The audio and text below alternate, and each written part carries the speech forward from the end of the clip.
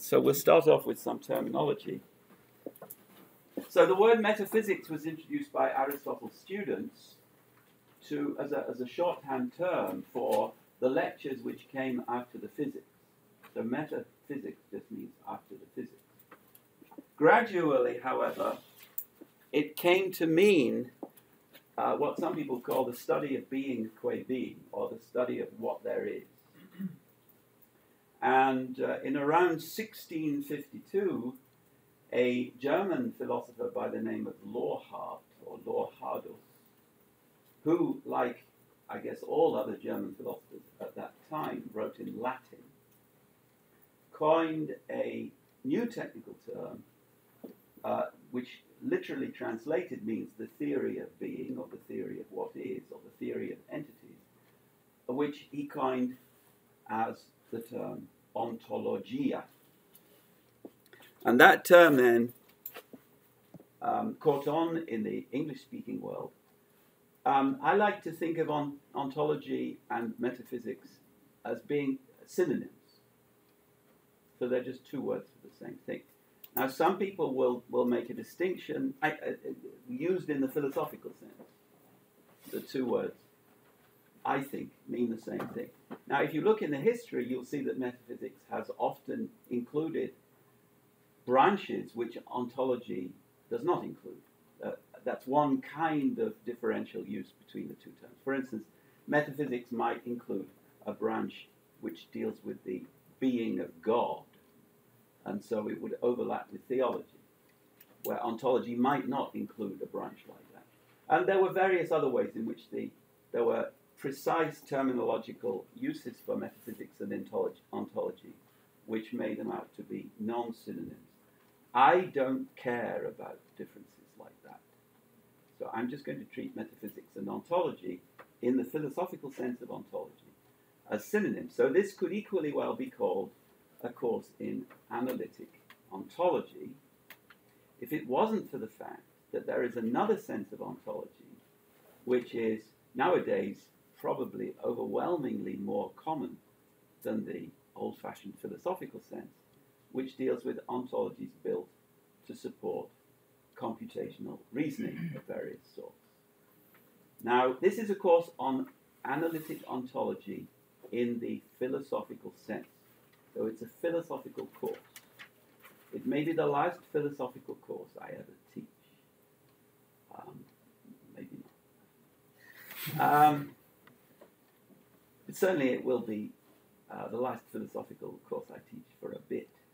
Uh, since next year I'll be teaching a course on biomedical ontology, um, which will be about biomedical ontology in the non-philosophical, or only somewhat philosophical sense of ontology. But this is a course on ontology in the philosophical sense, and that means that um, uh, you're going to need to take a course in applied ontology at some stage because that's more interesting and useful and will get you a nice job and so forth. Uh, but this is a philosophy. um, now, the next thing we have to deal with is what is meant by analytic philosophy, and I'll talk a little bit about that uh, in due course. I, I tend to think that analytic philosophy is a synonym for good philosophy. Um, but that's just because I don't like French philosophy. Um, I, German philosophy is a more difficult story, but I don't like French philosophy.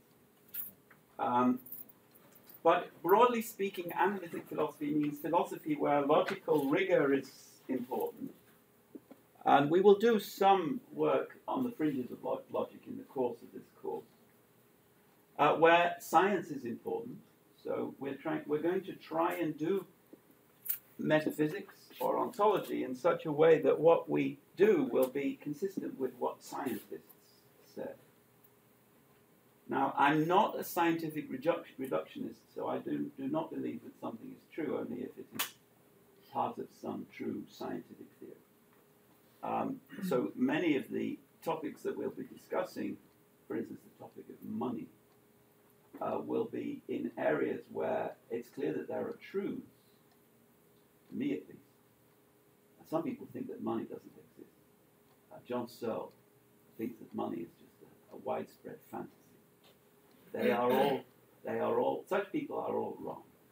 Money exists. There are truths about money, but they're not scientific truths. So metaphysics or ontology, as I conceive it, will have to deal with the truths of science and then these other sorts of truths and try and understand how they can be consistent with each other. And that will be a topic which we will address already in today's lecture. Uh, so, analytic philosophy is philosophy which uses logic and which strives to be consistent with science, the discoveries of science. I think that's probably a sufficient um, uh, sufficient account for the, these purposes. There is a school of thought which is led most conspicuously by Michael Dummett, who wrote a book on the origins of analytic philosophy, which tried to show that analytic philosophy had its origins in the Central European world around the turn of the 19th to the 20th century. And according to Michael Dummett, the idea behind analytic philosophy is that all philosophical problems are problems in the to the extent that they are genuine problems, are solvable by means of the philosophy of language. Now, I think language is very important, but I do not believe that language is the uh, sole way of solving philosophical problems.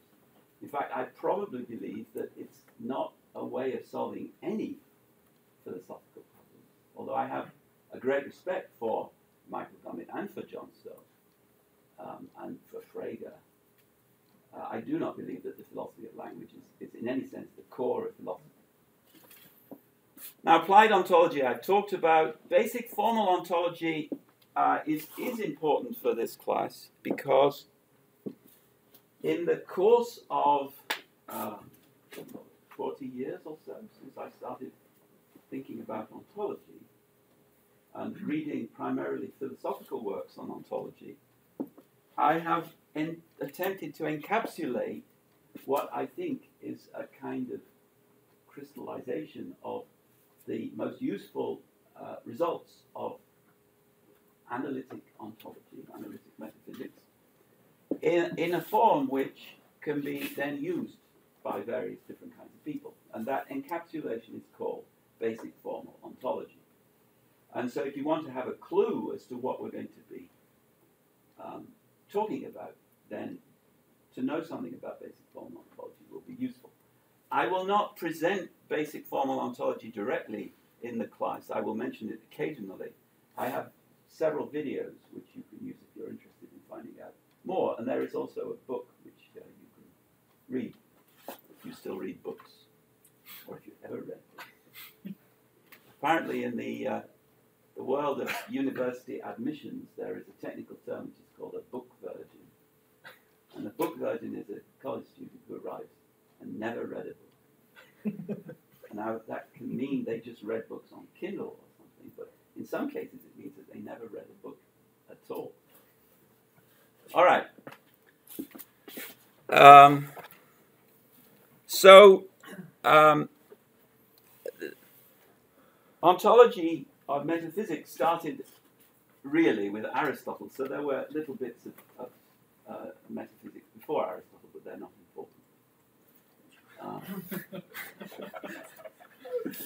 And the, the reason why Aristotle is important is that he really took a scientific rather than a storytelling or poetic um, approach to doing metaphysics.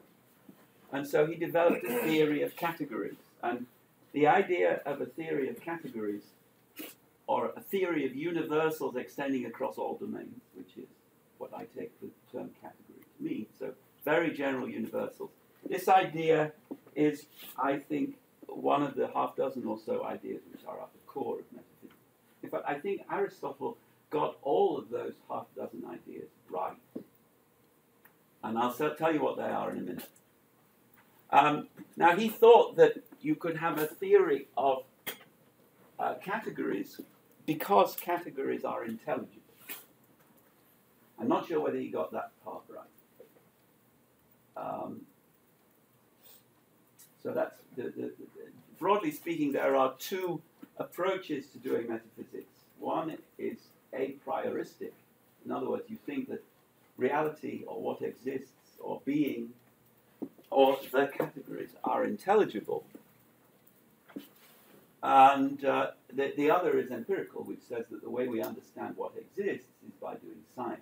And science is, rests on hypotheses uh, and testing of those hypotheses, and the results of such testing may be, uh, as they are often in many empirical sciences, just random. The, the, the fact that the acceleration due to gravity is such and such is not something that we can know a priori. We have to do some empirical measurement. Now, I think that we can, we can have, or we must have, when we do metaphysics, both a priori components. That's, I think I, I still hold that. And empirical components, which are not a priori. Um, Aristotle thought that it was all intelligible at the level of these most general categories. And I think he may be right about that too, that at the level of the most general categories, um, they are all intelligible. Um, now, I think this might be a, a good point to pause to see if there are any interventions. Yeah. So I'm not sure I understand uh, your distinction between the categories being intelligible and then being empirical. In what sense Aristotle thought they were not empirical and rather a priori? I just So, I'm not following. I, you- you're right, I did not make a clear distinction there. So, if you believe that um, thinking, for instance, or thinking process, is a high level universal, then you might say that it must be intelligible because, uh, for a priori reasons, because we, the, the people who are in the business of understanding categories are themselves understanding those categories through thinking processes. So you couldn't is- you couldn't have an idea of what a thinking process is without engaging in thinking processes. And therefore, the idea of thinking processes must be somehow prior to any kind of explanation, because there could be nothing simpler or more profound or more basic than thinking process, in terms of which you could explain what a thinking process is to someone who didn't understand what a thinking process is. I think Descartes had an idea along those lines. It sounds it sounds a little to me a little more Cartesian than it does. I, I'm having trouble seeing why his own. Just I have a idea of his theory of categories. You mean, mind, but I don't wh- why it. do I claim that Aristotle thought that the categories were intelligible? Yeah, yeah, I guess that's what my question is. Um, because he thought that we could come to know them without doing acts of measurement in, in something like that. So we, we need to do acts of observation, we need to do acts of thinking, but we don't need to do active measurement. So I think that the, uh, the big break here came around the time of Galileo. So Galileo, i- and this is something that we may discuss later, Galileo broke with what was the um, uh, certainly the dominant uh, view before him, according to which everything that we know is intelligible. And if it's not intelligible, we don't know it. Now, the movements of the heavens are intelligible, um, according to some uh, early thinkers. Uh, but that you are now sitting with a bread pullover on is not intelligible, it's just a random fact. And so we can't really know that you are now sitting with a, a red t shirt. I'm not sure about the example, but I think I understand. Well, yeah, I think don't want think to I use I the think word beginning Right, so with something P. like a. that, um, so for Aristotle, might involve like some sort of crude observation, but it's not going to involve serious empirical work to determine what the categories are. Aristotle was uh, a big believer in, in empirical work, but not in the post Galilean Right, sense of empirical work. Yeah. And I think the post, and this is actually um, quite an important feature of Aristotle's philosophy of science. Aristotle's philosophy of science was based on not on the principle that you can uh, you can falsify a hypothesis by doing experiments. Rather, it was based on the principle that you should observe the world and describe it. And if you observe something which is unexpected, un- inexplicable, then instead of trying to revise your hypothesis and do more testing so that you get a better uh, proposition that you can then test using more observations, which is a very modern approach, Aristotle followed the shrug your shoulders principle. So you look under lots of rocks and you see crabs, and then you look under a rock and you see, I don't know, uh, something that you've never seen before that you really don't understand. So you just shrug your shoulders. That seems to have been his philosophy of science. And uh, the, the one nice thing that Feyerabend wrote, which is in defen called In Defense of Aristotle, it gives you a detailed account of the shrug your shoulders. All right, so I, this may be important later on when we deal with, uh, with Descartes, but one reason for the intelligible, for the universals extending across all domains being intelligible is that they are all based upon a central role of organisms. So the main category is substance. And Aristotle's principal understanding of what a substance is comes from his understanding of what organisms are. And, um, and that's why he thought that universals were intelligible, because the universals that at this high level that we'll be talking about in a minute are all connected quite centrally with organisms, including people, including Aristotle himself. And some later philosophers took that to mean that the prime science of all sciences is psychology because we have intelligible categories on, on, on the basis of which psychology as a science proceeds. So it's not an empirical discipline. Brentano held a view that. All right, now then came the medievals who tried to keep Aristotelianism alive. Um, they, uh, they, they, developed uh, technical terminology and, um, uh, and everything was good, roughly speaking. And then uh, the French, um, a Frenchman, which I don't hold against him much, um, came along and uh, he, initiated a subversion of metaphysics by saying that not metaphysics is first philosophy, but rather that epistemology is first philosophy. And that means that instead of the principle of observation plus shrugging your shoulders, we have the principle of, of uh, methodical doubt. So, subversion of metaphysics. Um, and, um, and so on. And then it got really bad with Kant, um, who said that even if we use the principle of methodical doubt, we'll never, still never know anything about what really exists. Uh, all we can know about is the world of appearances.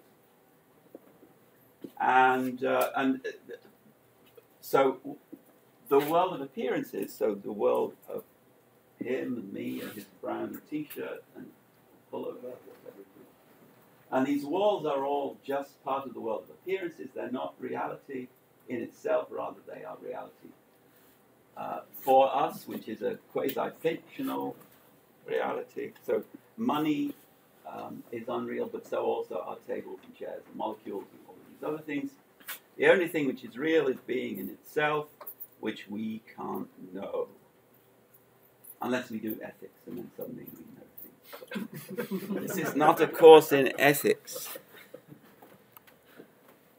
And then things began to get good again because Brentano rediscovered Aristotle, insisted that the methods of philosophy and science are one and the same, and that psychology is the primary science because psychology can be carried out in an a prioristic way. Um, and Husserl, then, particularly the very early Husserl, followed Brentano uh, so I think there are two important uh, contributions of Husserl. First of all, he invented the idea of doing ontology in a logical way. So in his logical investigations in, in the year 1900 thereabouts, he has axioms and theorems of ontology. Uh, and he did this against an Aristotelian background, according to which there were universals and instances of those universal particulars.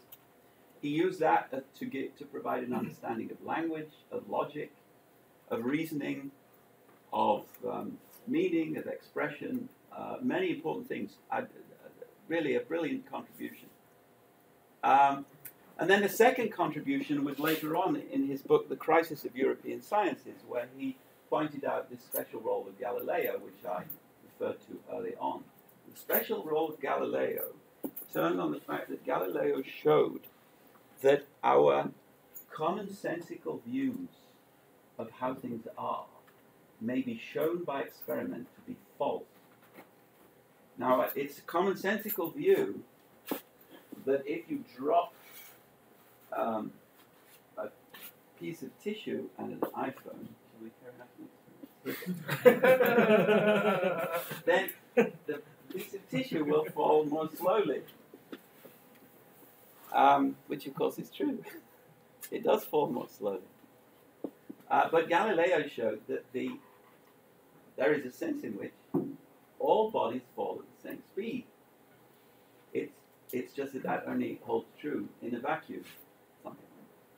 And we just didn't. Uh, our commonsensical view doesn't take account of the vacuum. Aristotle didn't take account of what would be the case in the vacuum and didn't see that understanding what would be the case in the vacuum was the key to understanding physics, or anyway, kinematics. Um, and so Galileo instituted a change, and the change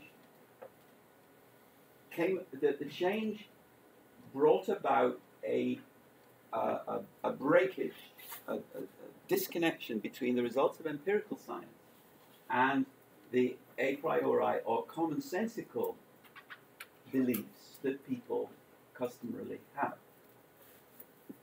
And this change, of course, got worse and worse with the development of relativity theory and then quantum mechanics. And so now many quite intelligent philosophers of science would say that everything that we believe commonsensically is false because we know enough about physics now to know that there are no such things as tables and chairs and pullovers and walls and, so forth. Um, now, I, I, I, I'm trying to develop a view according to which both common sense and scientific theories can be simultaneously true. In other words, a view according to which there is no logical contradiction between scientific theories and commonsensical theories. Um, and we will uh, we'll talk about some of that today. Um, and perhaps also in, in later uh, lectures.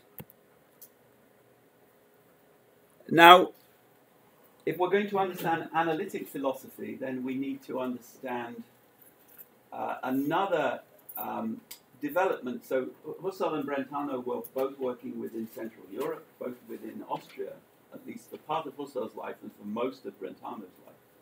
And there were other things going on in Austria. First of all, Wittgenstein was uh, was uh, growing up um, and writing works like the Tractatus.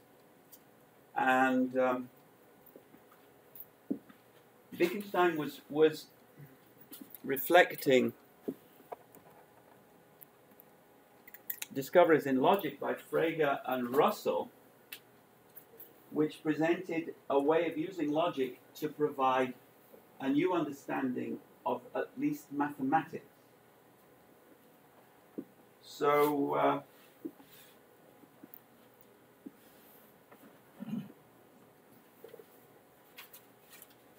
logic provided a way to formalize mathematics in such a way that you could prove mathematical theorems on the basis of what seemed to be simple, self evident axioms, which is, the, the old Euclidean idea, now um, in much more, with much more formal rigor than was possible before Frege came along.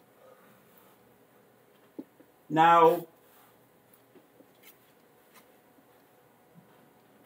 Frege put forward his foundation of mathematics, and Russell showed by means of a very, very simple example that Frege's theory was inconsistent. And so Russell rebuilt it with Whitehead to create a foundation of mathematics which was consistent but really very complicated. And so the original um, idea that Frege had that we could build up the foundations of mathematics from logically self-evident axioms was uh, it became much less attractive as a result of the discovery of the uh, of the uh, Russell paradox. But the logic of Russell and Frege was still there, and it was still a very attractive machine.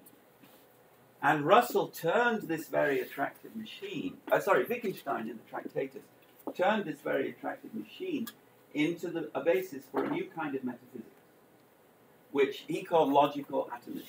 Well, which actually I think Russell coined the phrase logical atomism. Both of them defended, at certain points in their careers, uh, metaphysical views which could be called lo- logical atomistic views. And this was a new way of doing philosophy now. A way of doing philosophy in which not metaphysics and not epistemology are first philosophy, but rather logic is first philosophy. Logic, as it has been had been discovered by Frege and uh, developed further then by people like Russell. And then the Vienna Circle, which took the Tractatus as almost a biblical text, developed this idea of philosophy in defense of, at least many of them, an anti metaphysical view of philosophy. So, in um, my lights, Russell and Wittgenstein were still metaphysicians. They were still doing metaphysics. They were still trying to understand the nature of being. They were using logic to do that and developing a new kind of theory of the nature of being, namely a logical theory. Being reflects logic. I'm going to talk more about that later on today. What the Vienna Circle, and particularly people like Neurath, did was to argue that the new logic makes uh, the old ideas of metaphysics uh, no longer uh, salient. So we can just junk metaphysics. We can just do the logic of science, the logic of scientific theories. We can produce a unified science by formalizing all scientific theories using the Frege-Russell logic, and then that would be it. The formalization, the unified science would be would replace the need for the old-fashioned metaphysics. And in the case of Carnap, then there was an attempt to reconstruct philosophy or some parts of philosophy on this basis but with again with a logical atomist approach, where the atoms are either sensations uh, or physical micro events. So in in Carnap's uh, logical structure of the world, the atoms on which this construction is based are atoms of sensation. Now, so the, the important point here is the centrality of logic to philosophy. And um, the, the I think that the, the process failed. So they did not manage to create unified science by formalizing scientific theories using logic. It failed. It, and I think I, I can prove that it had to fail. Um, and if anyone is interested in seeing my proof, then I'll give you a reference to a paper I published showing why it had to fail. Uh, it had to fail um, and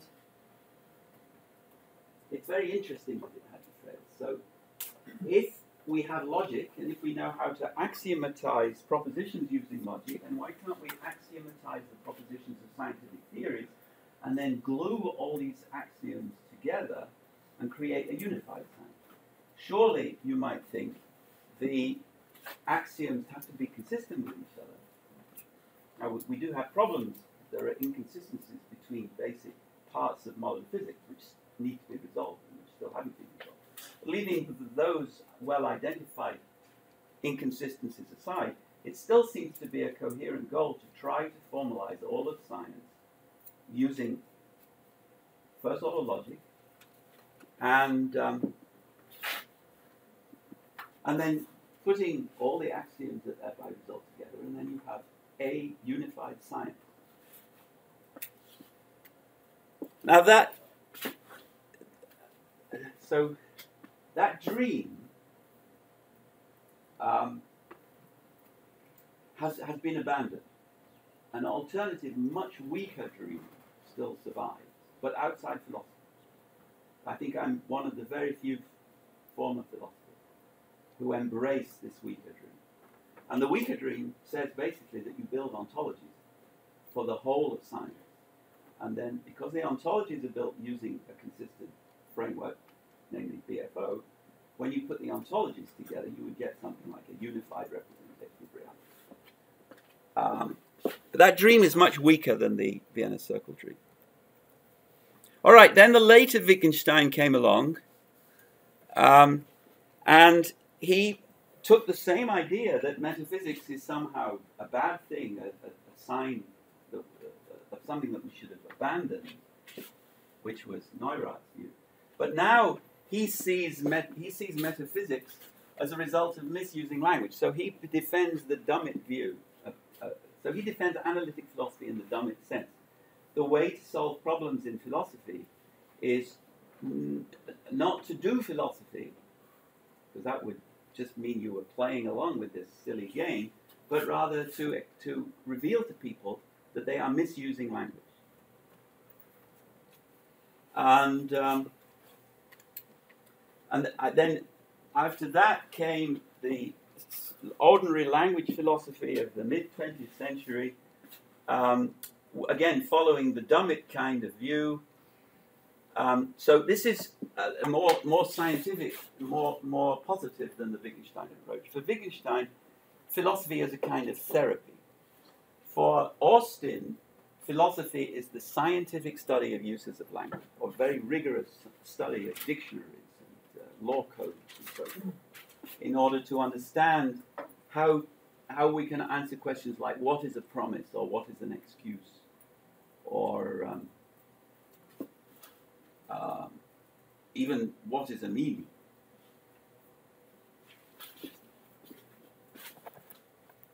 And then, so this is the, the British approach. Not much logic here, a lot of fancy footwork with language, uh, very witty.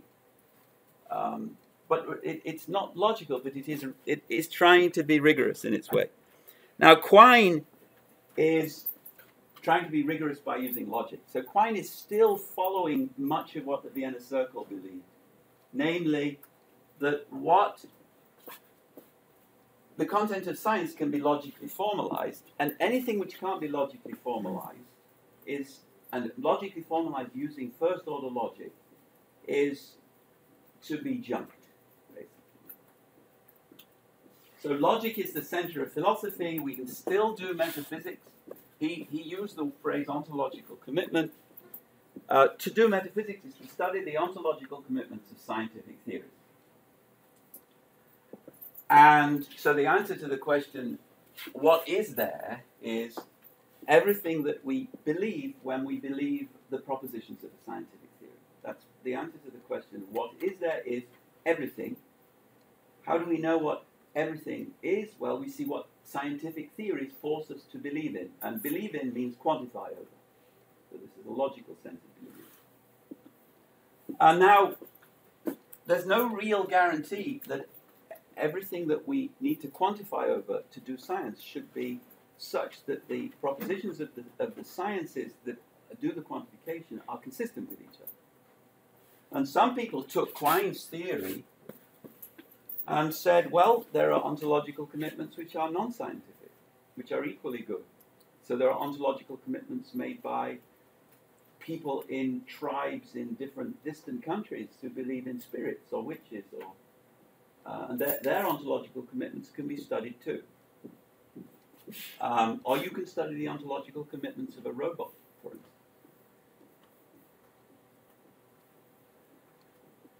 Now, this this is Chisholm. So I think Chisholm really was the father of analytic metaphysics. And other people who've uh, made important contributions are people like David Lewis and David Armstrong, Kit Fine, um, Jonathan Lowe. Um, they did what Quine did not do. They put metaphysics back into its proper place as first philosophy. So metaphysics is the most important branch of philosophy. Can't do any other kind of philosophy unless we do metaphysics. Metaphysics is hard, but it's a, a, a, a there is a project of doing metaphysics in a rigorous way so that we can make actual progress. And I believe that these people did make actual progress. They're all dead except Kit Fine. So Kit Fine is now the greatest living philosopher. That's a logical argument. Um, so then the question is what next, and then what what is next um, uh, is uh, is not the topic of this class, really. All right, so let's go back to Aristotle. Um, the idea is that there is a hierarchy of universals with categories as the top level universals. And for the moment, you can think of categories as being things like thing uh, or substance, which is for Aristotle the most important category, and then secondary categories, like process or event or action, uh, which we'll talk about more in a minute. The important thing for the moment is that these are hierarchically organized. So there is a top level, and then there are, which is the most general level, containing categories like substance. And then there are lower levels containing categories like animal, man, human, um, so. Now, the, the, the, the, beginnings of the applied ontology in biology um, came about because people started to understand in very great detail the hierarchical structure of the realm of biological processes and other biological entities such as cells and molecules. So this is a tiny fragment of the gene ontology. You don't need to read it or even know about it, but I will be referring to it just occasionally today. The gene ontology is an attempt to understand biology as a hierarchical classification of more and less general universals, with biological process one of the three most general universals, so the equivalent of Aristotle's category. And Porphyrius created the first ever hierarchical representation of, of categories in a commentary on Aristotle's uh, work. So we have substance, and there are two kinds of substance the corporeal and the incorporeal. And then a, a corporeal substance is a corpus, and there are two kinds of corpus, namely animal or animate and non animate. And then animate corpuses, there are two kinds the sensible ones, the ones that can sense, and the insensible ones. There are two kinds, and the sensible ones are called animals. And there are two kinds of animals, namely the irrational ones and the rational ones. And then human beings are rational animals. And then there are two kinds of uh, rational animals, and I think that says Plato. Uh, so I think that's probably a misprint, that they didn't have a print in. Um, now Linnaeus, who was the first, or one of the first, um, well, he was actually at the interface between the modern scientific biologists and Aristotelians. So he was an Aristotelian. He was steeped in Aristotelian categorizations, and he used the Aristotelian method in order to classify living things into more general types like mammalia, mammals, primates, anthropoids, and so on. He did this for other things. He did it for diseases also. And this became a part of um, mainstream biology. So biologists, until very recently, would think in these terms as a matter of course. They're still thinking these terms, uh, but they don't now see them as forming permanent uh, and intelligible universals into which all organisms have to fit. Rather, they see them as, as being subject to a process of evolution. And they're much more interested in understanding how they evolved from earlier uh, kinds of, uh, of organisms than they are in understanding the nature of the organism species which they form. Um, now, modern day biology, I think, is overwhelmingly dominated by a view of species according to which species are populations of organisms. These populations of organisms start when there is some speciation event. So, for instance, two uh, one population gets split. Uh, a river, the, half of it is on one side of the river, the other half is on another side of the river. The river gets wider, so the two populations become separated, and then they, they become subject to independent development, and eventually it becomes clear to everybody that they are two separate species. But in fact, they were two separate species already when they first got separated by the river. It's just that there was no way of knowing that fact until you saw how evolution took separate courses across the two populations. So all of these things here represent populations. Now, the population of animals is a very big population. The population of birds is, is a much smaller population. The population of canaries is a smaller population too. In the future, we may not have canaries. That population may die out. Now, I think that that population view of species is correct. I have to think that because I think that established science is the best place we have to look in order to find answers to questions like this. But I still think that there are aspects of our understanding of species which rest upon older Aristotelian ideas. And so I think that there is something about canaries, for instance, which makes canaries different from other kinds of birds. And that might be expressed in terms of a certain DNA pattern which all canaries share in common and which differentiates them from all other birds. So, even though I believe that species are populations of organisms, I still believe that the idea that there is a differentia, a specific difference, which separates instances in one population from instances in neighboring populations, I still believe that that idea bears fruit, carries weight. All right, so we can still, because there are these specific differences, we can still look at hierarchies of organisms in a broadly Aristotelian way. So we have canary, and the, the canaries can sing. Canaries are yellow. These are um, accidents uh, of canaries or attributes of canaries. We'll uh, talk about that kind of terminology later.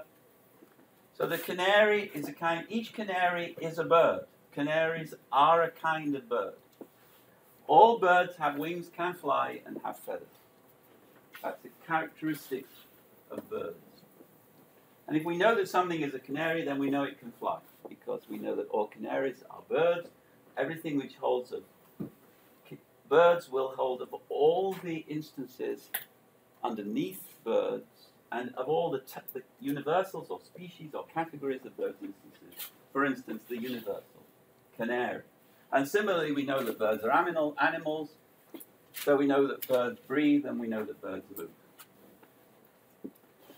Now, this is the Aristotelian approach. So for Aristotle, we know there are canaries, we know there are birds, we know there are animals, we can see them and we observe them.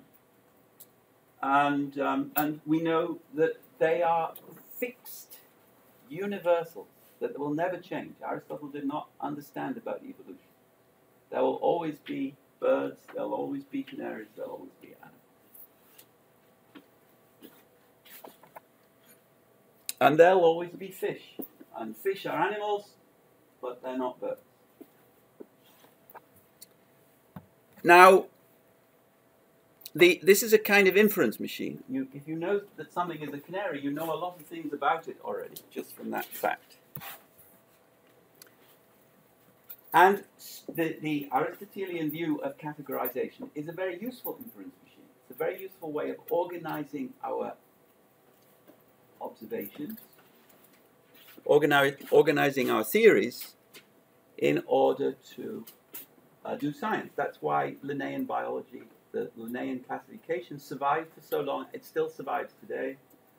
Um, for zoolo- doing zoology and botany, and, and uh, uh, nowadays for doing uh, even very high-powered uh, genomics-based biology, you still organize genomics information in terms of whether the genome that you decoded was a mouse genome or a rat genome or a fly genome.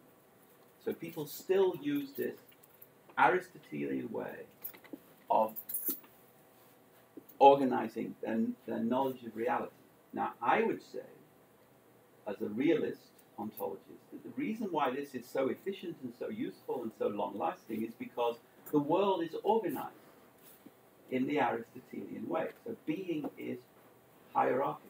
Being is such that there are real regularities captured in these genus species trees, real relations of similarity between all canaries, or between all birds, or between all animals, which biologists can understand, and which they under- can understand in a hierarchical way.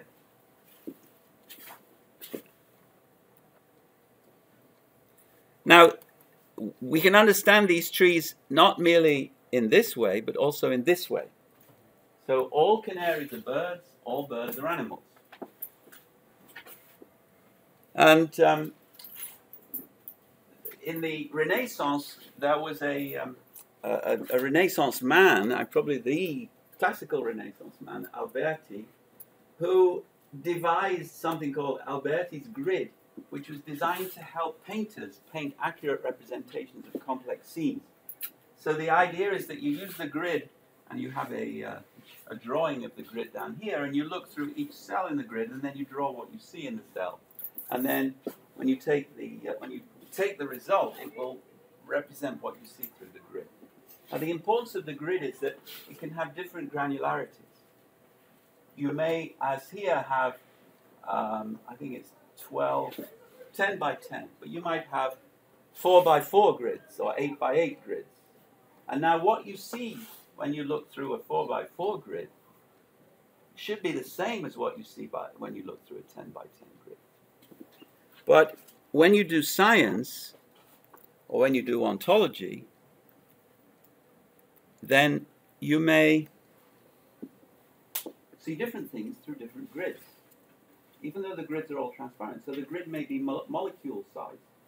If you look through a molecular sized grid, in other words, each cell in the grid corresponds to one molecule, you'll see something very different from what you will see if you just have one cell and you just see a whole scene or a whole limb or a whole lung. Now the problem with uh, with this all of this Aristotelian approach, which I've been uh, talking about, as if it were still unproblematic. So all of this is unproblematic. Um, and all of this is still dealing with substance universals. So th- this summarizes the view. There are instances which are actual organisms, which you can count, and then there are uh, species and genera, or universals at different levels of, uh, of generality leading all the way up to substances at the top. So, substance universals are the most important universals, both for Aristotle and for modern day biology. It's organisms which are the heart of modern day biology. Now, I'm coming to the, the problem with this but let me just say something about Aristotle's category theory. So I, I've said all along that Aristotle's central category is substance. The central examples of the central category are organisms, people. So we understand the nature of reality because we understand organisms and the world is divided into substances which stand in relations of similarity, which are like the relations of similarity between different organisms. Now, he, he talked actually very little about what the other kinds of substances might be.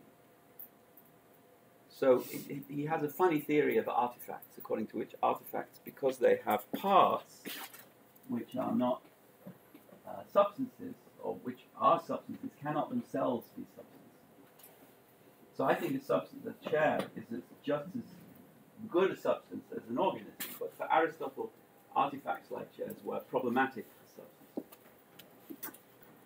Now, there are substances, but these substances have accidents. So there are substances, and we know intelligible things about substances. So if we know that a substance is, an, is a, a mammal, then we know that it's also an animal. It will always be an animal. It's, it's part of the nature of a mammal to be an animal. It's not an accident that a mammal is, a, is an animal. It's necessary that a mammal is an animal. But there are things which hold of substances by accident or per accidens. So a substance may be red, or it may be hot, or it may be suntanned, or it may be spinning. That's an accident. Maybe waving its arms, maybe speaking. All of those are accidents. It's not necessary for a substance to be waving its arms. And so Aristotle divided the world into substances and accidents. And he held that just as substances form hierarchies of less and more general universals, the substances are, the particular instances. They are instances of substance universals like animal, mammal, human, and so on. So accidents are instances of accident universals. Like color, for instance. So this, well, his shirt, his pullover is red. It, that's the, it's actually quite a good match. Um, so the token redness in his shirt, shirt pullover over there is an individual accident of his pullover. And it's an individual accident of a certain type, namely it's an R20 and so on, which is a subtype or subuniversal of the scarlet universal, which is a subuniversal of the red universal, which is a subuniversal of the color universal, which is a subuniversal of the category called quality. And this is an accidental category. And it's accidental because you can change your color. So these are the nine accidental categories, along with the unit, the, the central category of substance. There is substance, quantity, quality, relation, place, time, status, habitus, action, and passion. And they each correspond to a single question. Um, so I, my Latin is not very good, but I'll do my best. So what is it? That means what is its nature? In other words, what is the universal under which it falls? How many is it? How is it? What quality does it have? Uh, to what is it?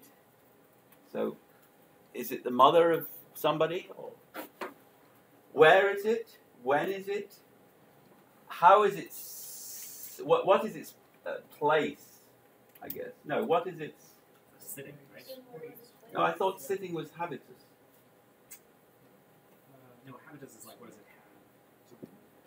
Armed or not armed is habitus. Okay, so how is it sitting? How's it situated? How is it situated in the sitting? How, how, how is it armed? Is it armed with a sword what's it have? Yeah. or with a hat? Uh, what's it doing and what's being done to it? So they are the nine accidental categories, and there are hierarchies for each one of those things. So there is a hierarchy of actions, and the topmost node of the hierarchy of action is action. And then as you go down, you get more and more um, specific, cat- uh, universals in the category of action. So just to repeat, these are the actually there are ten categories, nine accidental categories. There, there, there are different lists, and in some lists are slightly short. Uh, but there are ten categories, one substance category, and nine accidental categories. And so, um, and so it's as if the substance is the bearer of these dangly bits, which are the accidents, which attach to the substance and then fall away when they change color or when they're no longer related to him, but rather related to somebody else, and so on. Now, there are four different kinds of entities in this ontology, we'll call Aristotle 1.0. There are substance tokens or universe, uh, sorry, substance tokens or particulars, accident particulars, and then substance types or universals and accident, accident types or universals. And so this is what is called Aristotle's ontological square. And um, so there are particulars, there are universals, there are substantial particulars like me, and there are universal particular, uh, uni- substantial universals like man, and there are uh, accidental particulars like my headache, and accidental universals like headache. Now, 20th century philosophers have tended to deviate from this by having thinner ontologies. So, if you hold, as Wittgenstein did, and as Russell did in their logical atomist phases, and as David Armstrong did in one brief phase in his career, maybe longer than brief. Um, if you hold that predicate logic is the window on reality or the mirror of reality, so that the way to capture reality is to use standard predicate logic, which is certainly something that Quine held, then you only really accept two kinds of entity. That, all particulars are individuals, which is normally taken to mean that they are substantial. So Nelson Goodman, for instance, thought that all particulars were thingy particulars. Um, and all the attributes are accidental. In other words, they correspond to predicates rather than to universals in the category of substance. Now, what does that mean? Um, so, for Aristotle, there are two kinds of predication. There, are, there is predication in the category of substance when you say John is a man, man. So, John is an instance of the category or universal man. That's predication in the category of substance. And then there's predication in the category of accident, where you say John is hungry, or John is blue, or John is running away. Now, standard predicate logic, standard analytic philosophy, standard Frege, does not accept this distinction between substan- substantial and accidental universals. And really, they they approximate to a view according to which all predication is predication in the category of attributes or qualities. Um, and we'll come back to this. This is a, a very important um, understanding of the way logic gets to represent reality. Now, many uh, analytic philosophers of the 20th century, but not David, David Armstrong, not Jonathan Lowe, not Kit Fine. Um, I don't know about David Lewis. Um, held that they were nominalists. So they held that the only things which exist are particulars.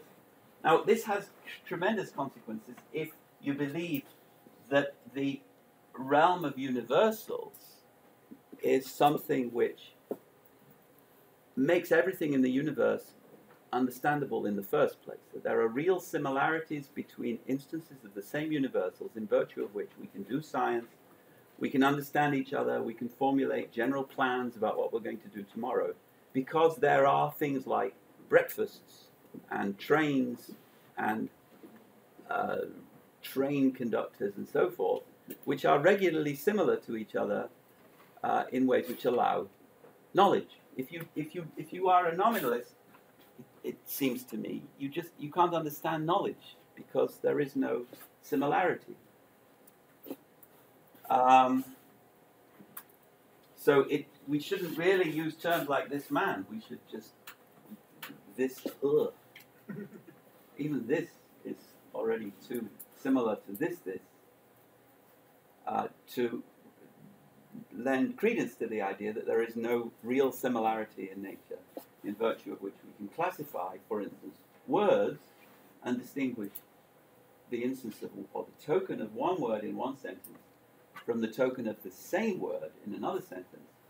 For a nominalist, there is no such thing as the same word, and so it seems that nominalists preclude the very possibility of intelligible speech.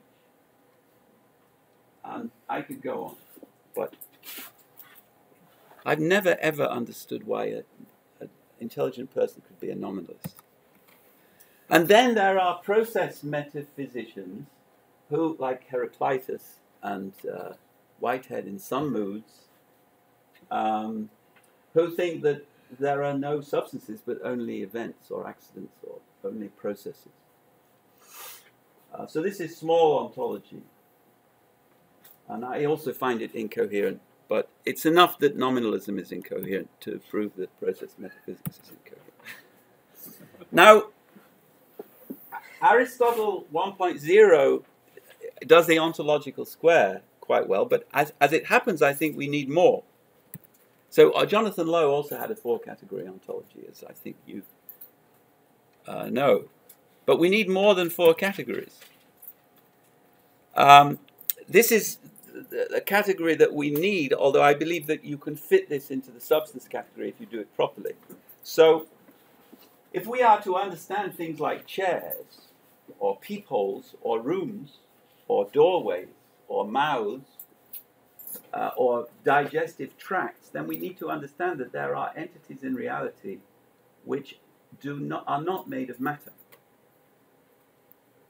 They are cavities which allow matter to pass through. For instance, the doorway allows people to pass through when they are leaving or entering the room. So you might call these negative parts. So you, this is an interesting uh, picture of shoes. Some people think. Um, so all of these are examples of holes which I believe are needing to be accounted for in a good ontology of what there is. And Aristotle didn't do holes. So Aristotle's theory of place is very strange. It, it seems to be coherent in its own terms, but this would not be this would not count as a place for Aristotle. Um, all right, so for Aristotle, a place is the interior boundary of the surrounding body. So everything that is a place, everything that is in a place has to be surrounded by another body. And the, the, if a fish is swimming in the sea, then the water surrounding the fish has an interior boundary where it hits the fish and moves around as the fish moves around. That interior boundary is what Aristotle means by place. And so Aristotle has to hold that the atmosphere uh, and indeed water has to, has to be such as to have interior boundaries which can serve as places. Now we know when we understand something about the atmosphere in modern day chemical terms that it doesn't have an interior boundary. It's a lot of molecules of air which are bombarding against our exterior boundary, which is also not quite so smooth as we like to think. Um, so Aristotle did not have room for holes. Um, so this, the hole in the ground, for instance, it doesn't fit anywhere in Aristotle's ontology. And the distinction between two kinds of boundaries, fiat boundaries, like the the lid, which is not made of matter on a hole, which does not have a physical lid, and bona fide boundaries, which, such as here, the physical wall of the hole in the ground that distinction also does not play a role in Aristotle, which is why he gets artifacts wrong, because the, he doesn't understand the distinction between these two kinds of boundaries. That's one of the reasons why he gets artifacts wrong. All right. Um, so bona fide read boundaries would be things like the surface of somebody's skin. Fiat boundaries would be things like the boundaries of postal districts, boundaries of mountains, um, which make it difficult for us to know where a mountain starts. And the reason why it's difficult is because there is no bona fide boundary here. And the reason why there is no bona fide boundary is because a mountain is not a substance, it's not an object. It's not movable, it's not a thing with its own boundary which separates it from other things. Uh, then there are fiat boundaries called brain regions, for instance, and then there are bona fide boundaries in the brain also. So this leads us to Aristotle 1.5. Um, we add wholes, and thereby we get the distinction between fiat and bona fide boundaries. So this room is a hole. The doorway is a hole.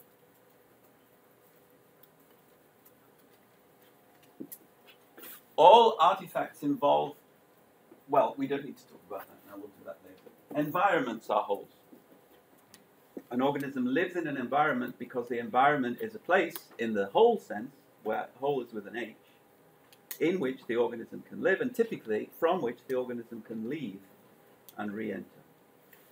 All right, now we'll have another break for questions, comments.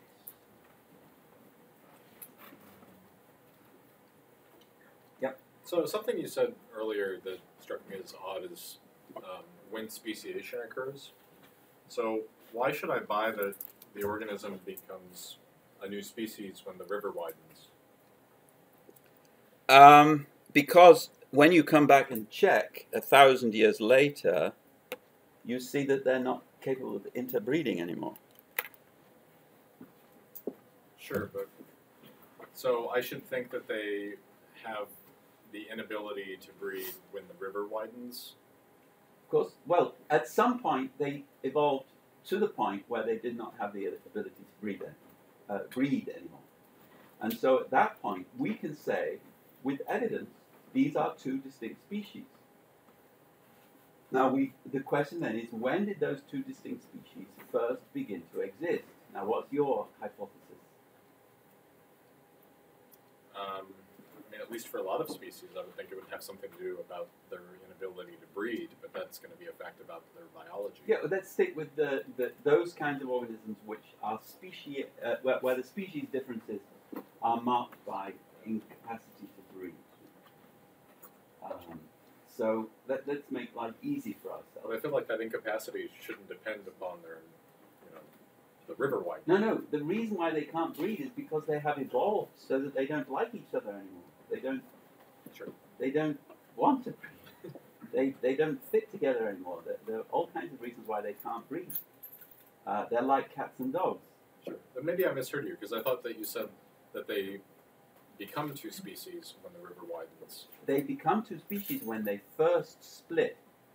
So the, the, imagine that we have a, a, a, small town around a river with penguins or something living in it, and I don't say penguins don't live not riverine animals, but never mind. So the penguins on the left side of the river and the penguins on the right side of the river can breed. They go backwards and forwards, but then the river starts to widen, and at some point, human, sorry, penguin traffic across the river ceases. Um, so you you you agree that that there will occur a point like that. I yeah, think that but is not, the, but, but not that at that point they are two species. Okay, so at that point, I think they become two species. And that's also standard biology. That's what biologists say.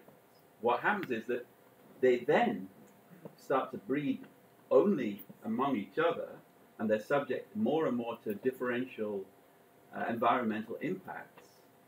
And eventually, those biological forces will bring about phenotypic differences. They will they will like different things. They will they will have slightly different bodies, and eventually those phenotypic differences will compound and compound until they can't interbreed anymore.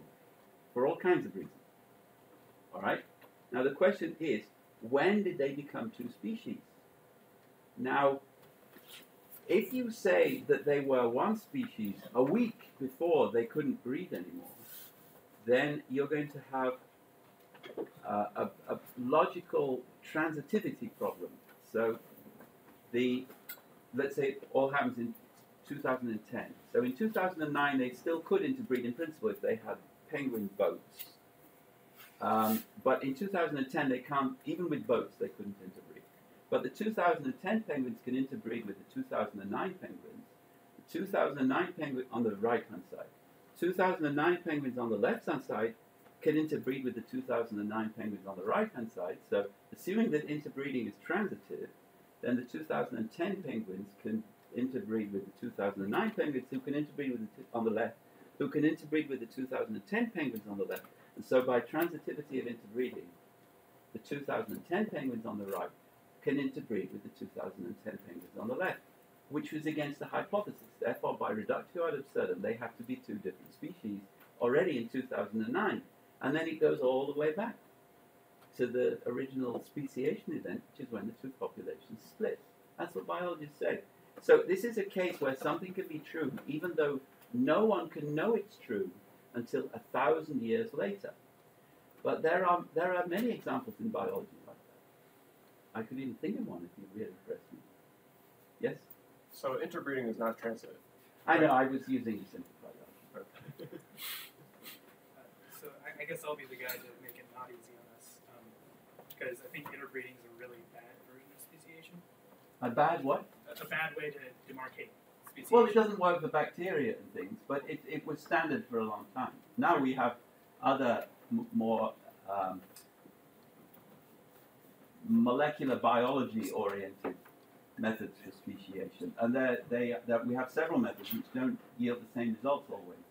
So the, the the theory of speciation is not in good shape. However, I think that it's orthodoxy today to say that there are speciation events and that a classic speciation event occurs when a population splits into two, and when the two halves of the population undergo a different evolutionary course.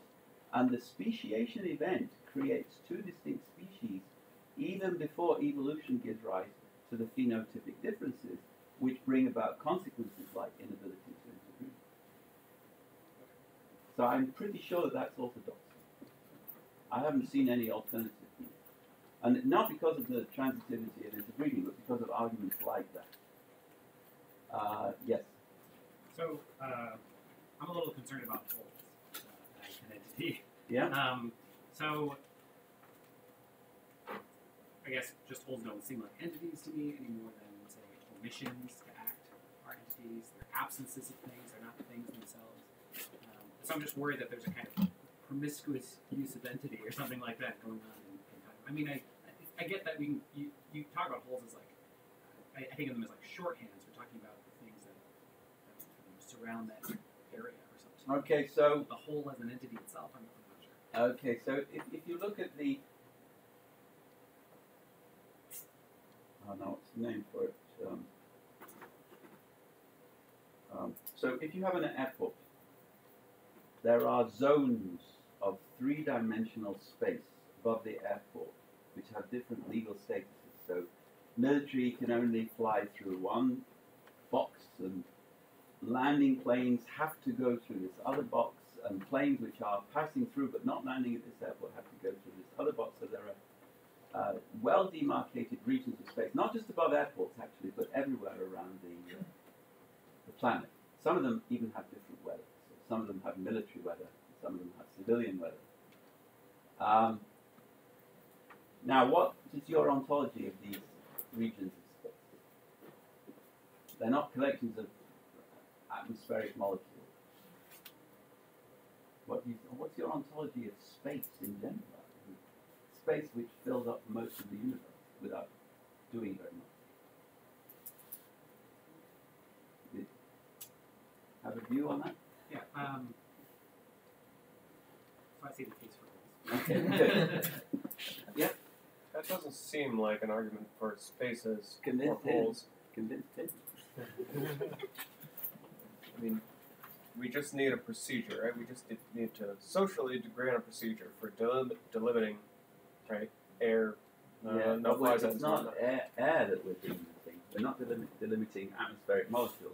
No regions, but right. Yeah, I mean, regions of space. So, do this you is not an argument for these things existing. It's just an argument for that we can share a procedure for figuring out are am I in a region that I'm allowed to be in or, or what. Okay, so actually, I believe that there are both holes and regions of space, and that the hole and a region of space are two different things. And that's because the hole can move around. So the, the, the hull of a ship, the cargo hold of a ship, can move around when the ship moves through different regions of space. So you can have a hole which is in different regions of space at different times. So I'm doubly uh, uh, in, in, in a bad way from your point of view, I guess. Um, I um,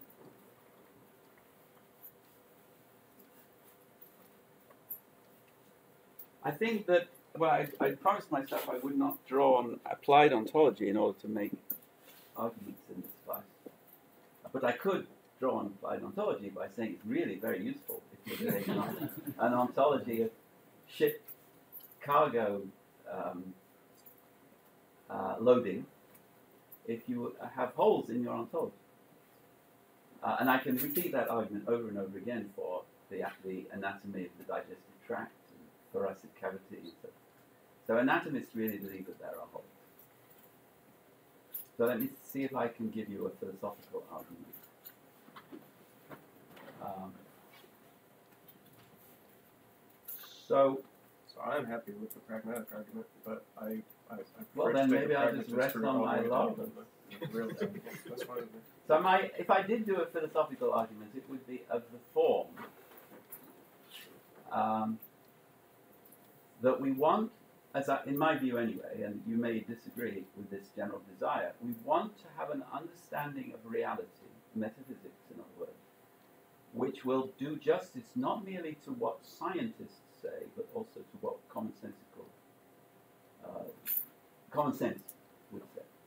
Now, common sense, I think, believes that there are things like holes in your pocket or in your jacket, which into which buttons are inserted when you fasten the buttons of your jacket, or in your um, uh, shoes.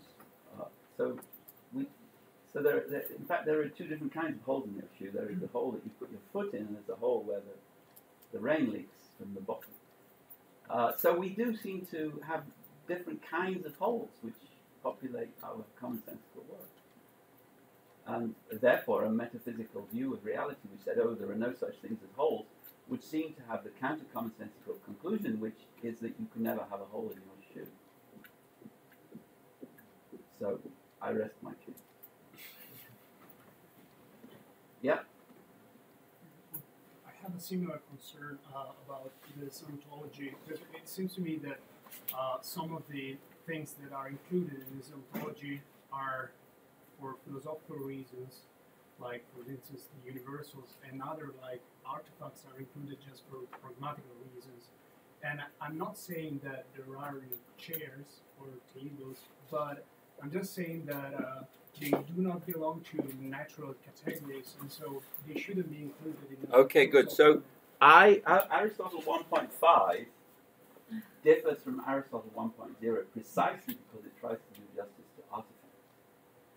And the most important kind of artifacts in ancient Greece and today, for many purposes, so we're, we are doing a little bit of pragmatics here, but I'll explain why it's okay in a minute, are real estate, parcels of real estate both within buildings and on the ground where the buildings are built. So the, the real estate in New York City is, is worth $17 trillion. That's, that's nearly as much as the national debt. Really important. Um, now, you can't understand real estate without fiat boundaries. And I introduced the terminology of fiat boundaries when I was working with geographers. We were trying to understand the ontology of real estate, which I think is a philosophical question, not a applied one. So this would be a good question, even if you didn't ever care about doing applied ontology. So what is the ontology of real estate? We know that there are boundaries in nature, for instance, coastlines.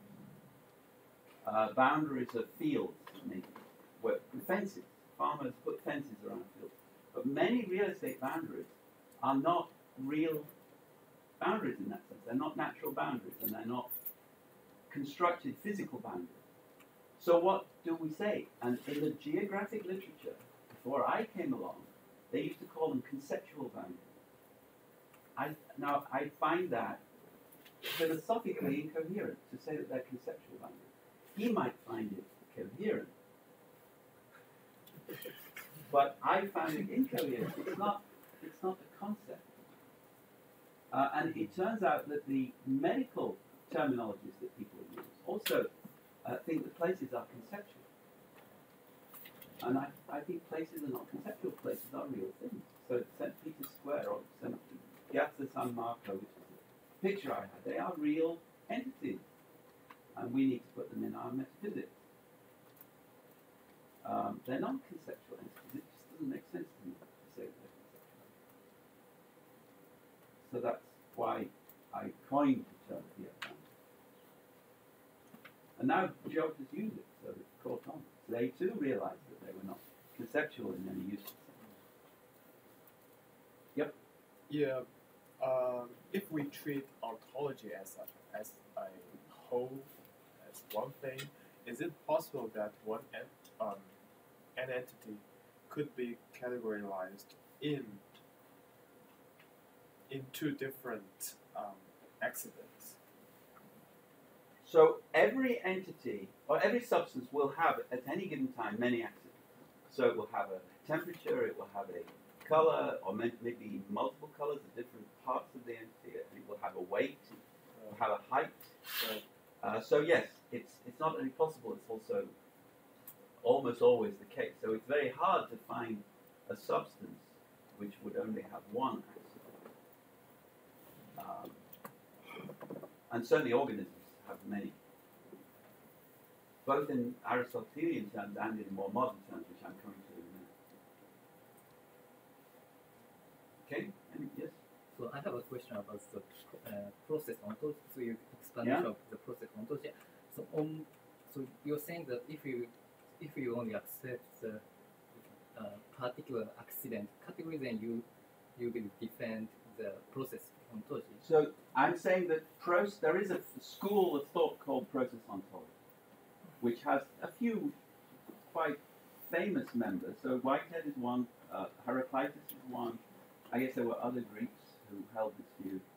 Uh, the, um, can't remember who in the 20th century were the prominent ones, but there were prominent process metaphysicians. Now they were they were trying to distance themselves completely from Aristotle. They wouldn't use Aristotelian terminology at all. They were trying to be modern and clever. My, my thought is that the defender of that category would be trope theorist.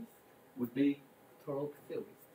Trope trope theories. Good. And Okay, good, good. You're right. So the the if we go back to that And picture, guess trope theories would be explain processes, Yep. processes in terms of a sequence of thoughts, but not versa. yeah, good. So if we consider the possible occupants of this box, then trope nominalism would be a good example. So it's not only process metaphysics which shines the light only in this box.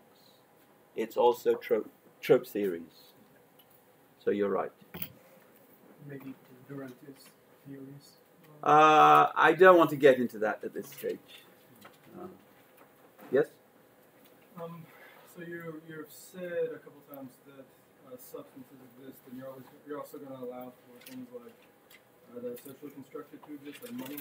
Yep. Um, would you would you characterize a, a physicist perhaps uh, who came to you and said, um, "Look, money doesn't actually exist. What really exists is just what's on the fundamental microscopic level." Would you characterize them as disputing you, just as quibbling in terms?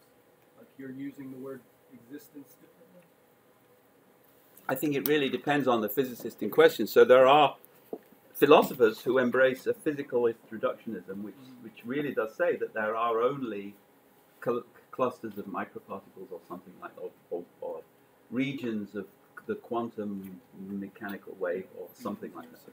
There are other physicists who are perfectly happy with the idea that they are talking about reality at a certain level of granularity, but that there is reality uh, precisely because there is reality at that level of granularity, which includes the reality of brains and people who create cultural artifacts like money, uh, that those cultural artifacts exist too.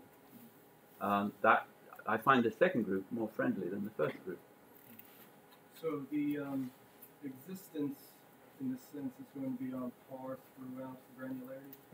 If I were to say capture this with a quantifier, it would be the same quantifier. So- The that this is a a, uh, a, a, a question which is very similar to questions which arise when you think about the Vienna Circle dream to have a unified science, a single collection of axioms which would capture all sciences. I do not believe that that dream is realizable.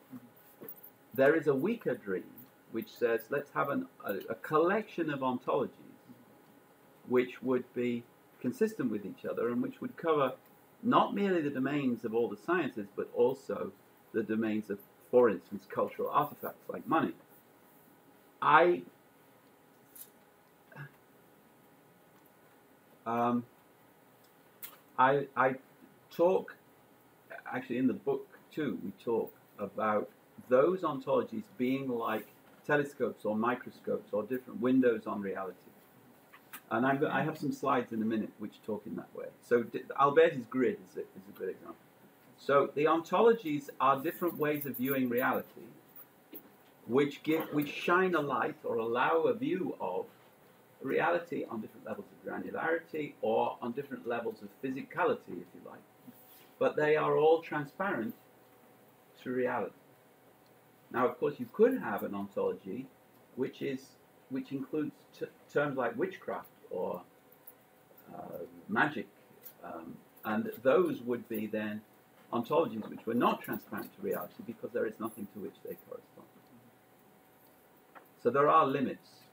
Uh, when language goes on holiday, then Yeah, so uh, I have a question about um, whether there are any limits to our imposition of fiat boundaries. Something, for example, I could just arbitrarily decide to talk about this room plus one inch out the door, one inch and a quarter, one inch, one inch and a half, something like that. I mean, I could talk about the boundary, the make up, make up some boundary. That is this I think we'd probably say that you, you're you allowing language to go on holiday. Give me a real case which you think is problematic rather than a made up case. Uh, so.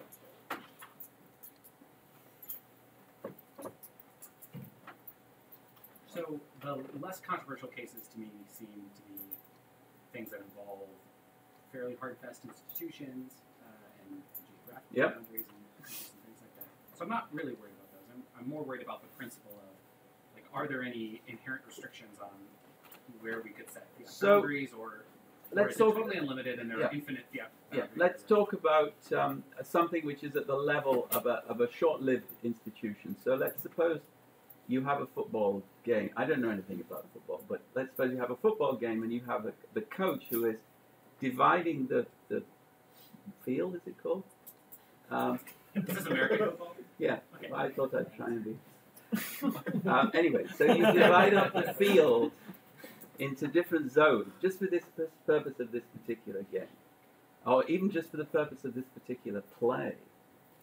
Um, then you would be creating fiat boundaries of a very short-lived nature, and that seems to me to be perfectly uh, correctly analysed in terms of this zone which has been created for this play, or whatever they would say. Yeah, there are zone defenses. Yes. Yep. Uh, while we're on break, can you tell us the title or give us the citation for that article you mentioned about the Vienna Circle? You said you proved that it was always going to fail or something like that. Yes. What's it called? Uh, I think it's called. Um, um, so the one short version is called "The Concept of A Priorism," and it was published in the Austrian Economics Newsletter. So it's, it's also a popular version, but there is a more technical version, which I believe was published in the Journal of the History of Philosophy. And it has a title like Aristotle Menger Mises. Something like that. I was trying to prove it wouldn't work for economics, where you would think it would work. But the argument is completely general that that's the argument which is expressed. And if that's not right, then just email me. And I, I'll, if you email me, I can send it to everybody. Um, all right, so let's continue.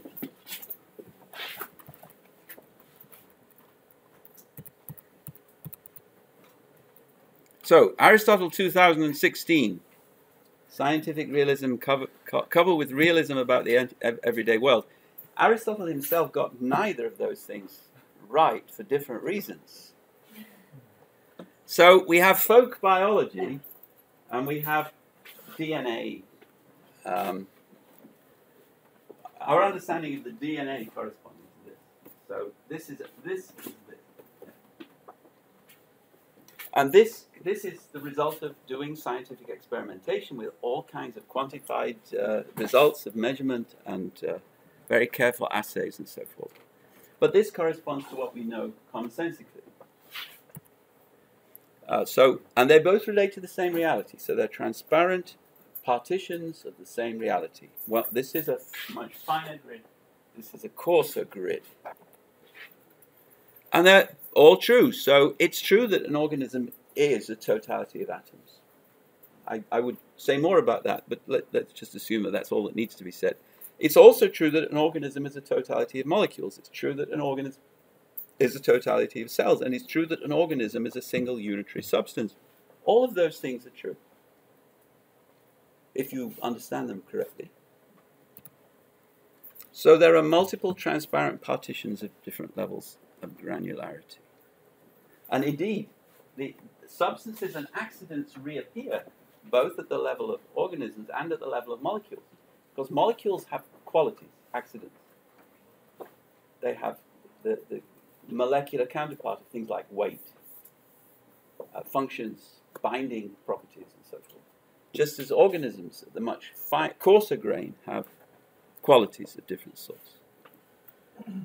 Um, so there may be, at the level of quantum mechanics, a, a, departure from the substance accident Aristotelianism that I have been expounding, but no one understands quantum mechanics anyway. And so we're not going to worry too much about whether that is the case.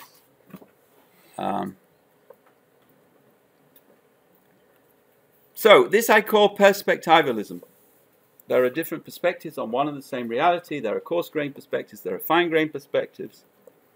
And, uh, and BFO is designed to be compatible with multiple different perspectives. So you don't need to embrace all of BFO. If you really want to be a process ontologist, if you want just to have a process focused perspective, then you can just ignore the continuant part of BFO. All right, so this is an example of a really nice partition of reality. Um, this is another example of a really nice partition of reality. This is the gene ontology again. Um, so they, these are interesting because they give us a view of the hierarchical order of the species and genera uh, within the corresponding domains. All right, now there is the big problem which I warned you about earlier. And some of you may have guessed already what the problem is. Um, the problem is ostriches,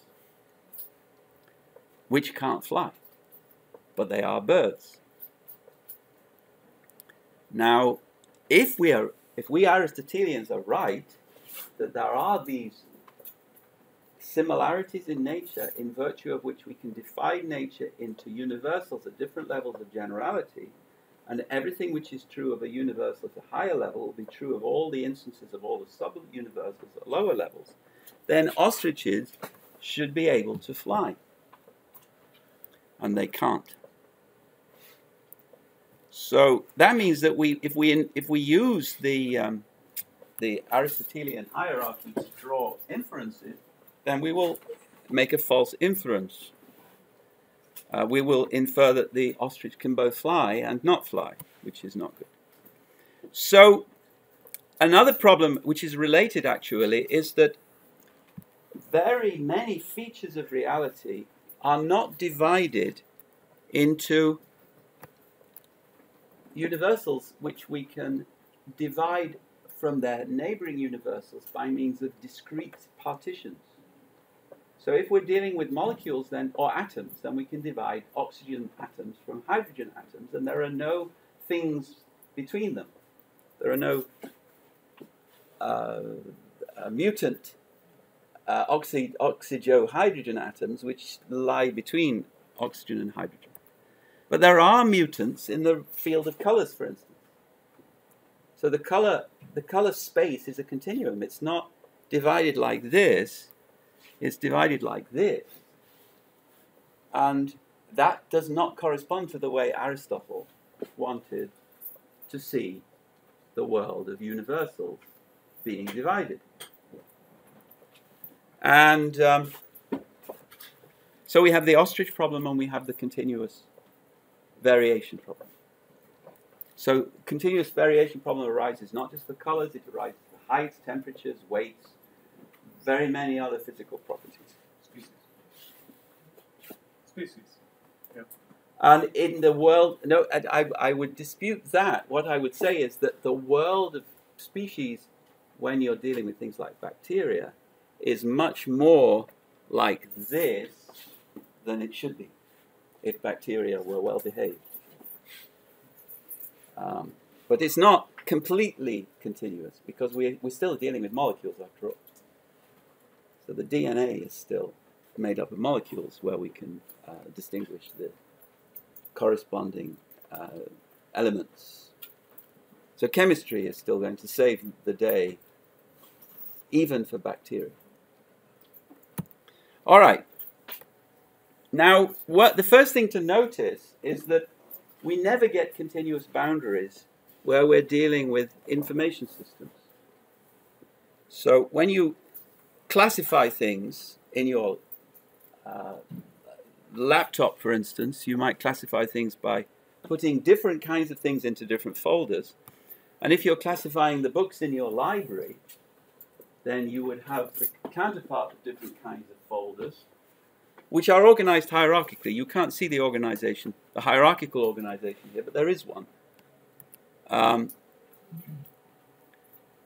it's a very complicated one because we need to have Spanish books and earth science books being divided in such a way that there are Spanish earth science books and English earth science books, which are earth science books, and then there are Spanish and so on. It gets very complicated, particularly if you have more than two languages.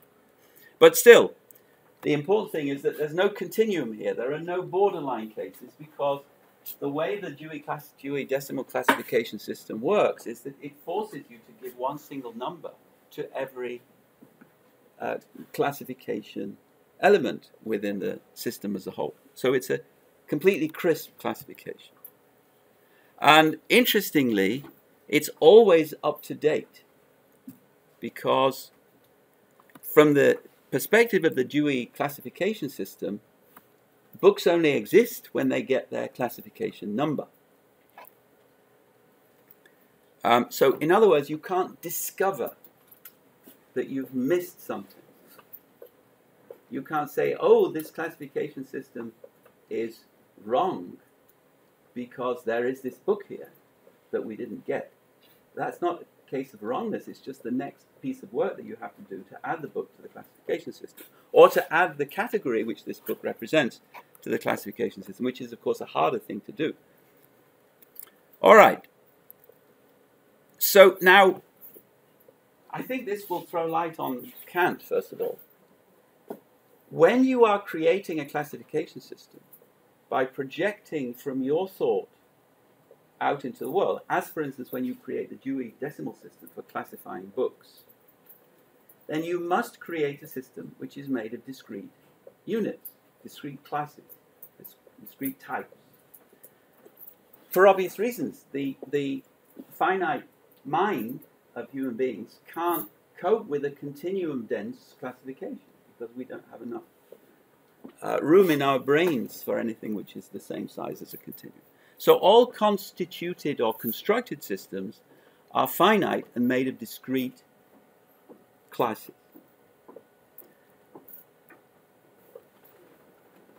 Now, the world, on the other hand, is made of continua all over the place, all many different kinds of continua. Even at the molecular level, there are all kinds of qualities and, of molecules which are, uh, vary continuously rather than vary according to discrete classes. Now, what this means, I think, is that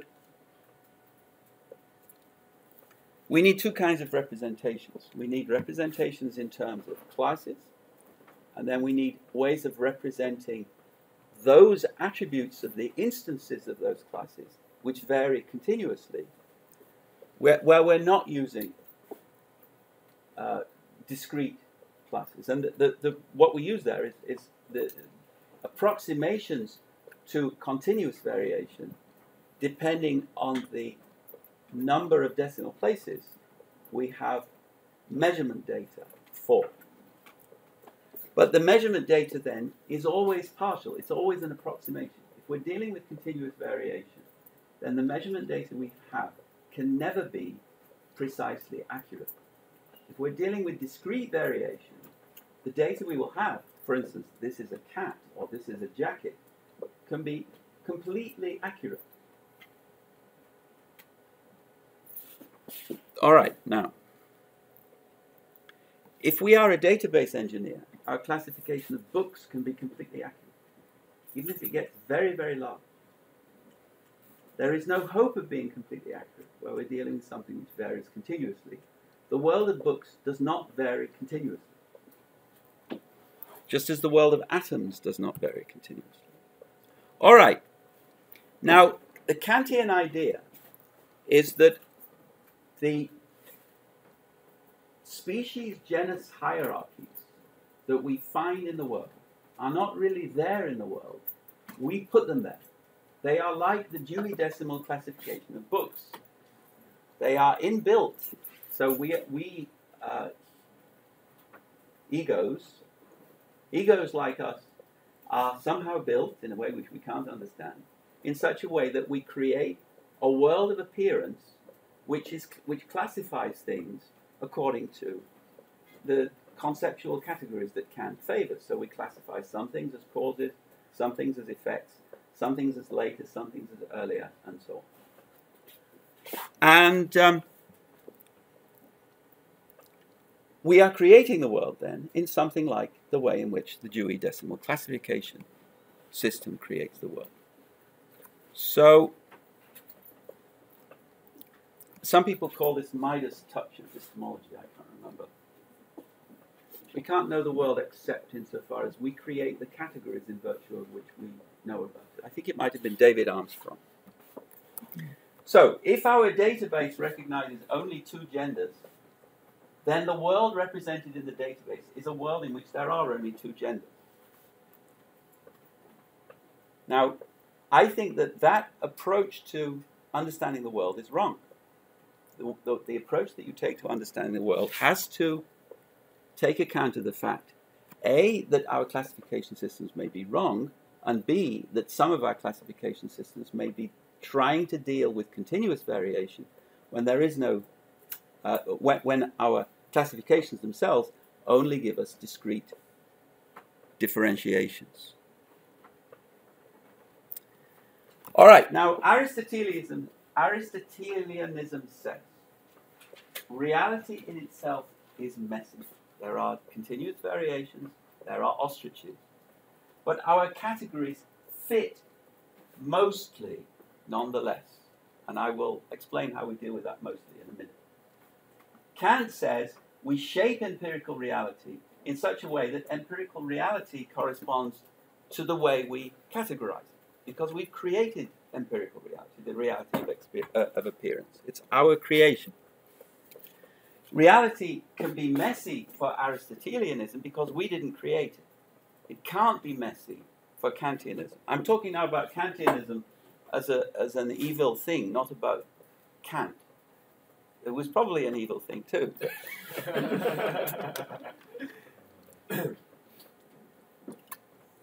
All right, now.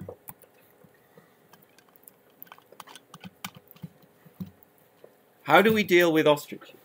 So the idea is if we do biology, we know all the time that there are going to be counterexamples to virtually anything that we might think holds universal. So biology is full of bell curves. It's full of things which are mostly thus, but then when you get out into the fringes, they turn out to be something quite different. So there are prototypical instances which are near the middle of the bell curve, and then there are non-standard or fringe instances which are on the exterior of the bell curve. So sparrows are prototypical instances of bird, and ostriches are fringe instances of bird. So when we're talking about natural categories, rather than the categories created by, for instance, the Dewey Decimal Classification, then we have to distinguish between uh, focal instances and fringe instances. And, um, and this is general in biology. But the point is, so th- this is a fringe instance, this is a focal instance. And it, its fringiness uh, it appears clearly on this diagram. And now I'm making its fringiness even more apparent. Now, if we use a coarse-grained partition, and this is a coarse-grained partition, then the fringiness will cause problems because the very same thing will have features which belong to the core instances of this thing, but also features which belong to the core instances of whatever goes in here, and so it will cause problems. So ostriches have features which belong to the core instances of bird. In fact, most of its features are like that, but it will have other features, for instance, the ability to fly, which correspond more to non-birds. But when we um, when we seek a finer grained partition, that's a misprint, I should say, Aristotle 2016. When we go to a finer grained partition, then this thing becomes perfectly, uh, it fits perfectly within this category here. The category of those organisms with DNA, which has, through evolution, mutated into DNA, which does not allow flight. flight. So at the DNA level, this is not a fringe instance anymore. It's perfectly, uh, it's a focal instance of whatever is in that box. Moreover, unlike Aristotle 1.0 with his shoulder shrugging philosophy of science, we can actually explain at this level of granularity why it is that this particular organism can't fly because we know about the DNA of organisms with flight that it is such and such, and we know about the DNA of this organism that it's not such and such. And so we can explain the phenomenon which, at the coarser grained partition level, seemed to be uh, a, a, a big problem. So the idea is that as science advance, advances, we're not moving away from Aristotle what we need to do is to interpret Aristotle correctly so that we recognize that there can be substance accident hierarchies at different levels of granularity, and that what appears problematic for the idea of an Aristotelian hierarchy of a sort which supports inference up the hierarchy is problematic only if we stay with one coarse grain or commonsensical or normal non-scientific thinking level of granularity, uh, we have to move backwards and forwards from normal commonsensical levels of granularity to uh, more fine-grained levels of granularity, for instance, at the level of molecular biology. So molecular biology still uses an Aristotelian ontology.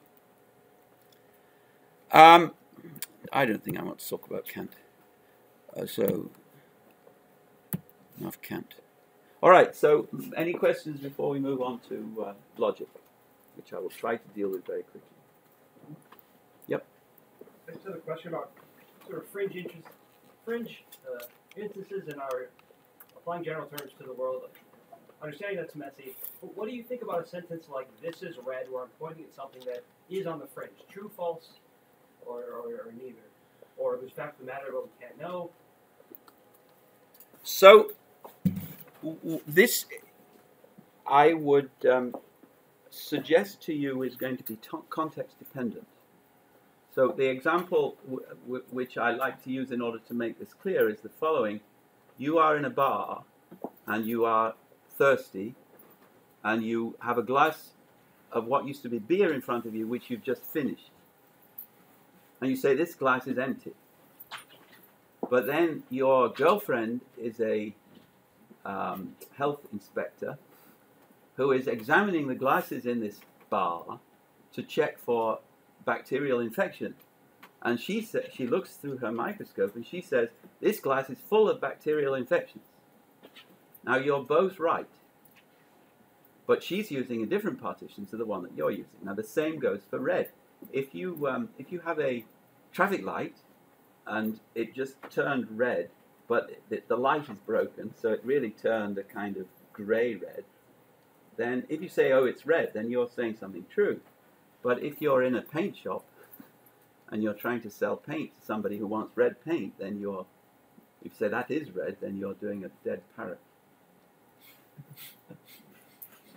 So, so what is expressed is really dependent on uh, the conceptual frame that the speaker is, is operating. I would say that vagueness is dependent on context. And contexts are now granularity tied. So vagueness and granularity are two sides of the same coin.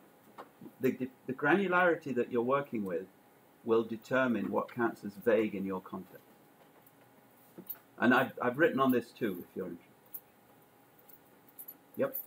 Um, so you, you mentioned things like natural categories. Um, should I be thinking of those as like natural kinds, or should I be getting away from? No, natural kind is a good word. Uh, so the, the problem is that I want to, to apply a broadly Aristotelian kind instance or universal instance or type instance or universal particular by categorical ontology, not merely to nature, to organisms and so forth, but also to artifacts.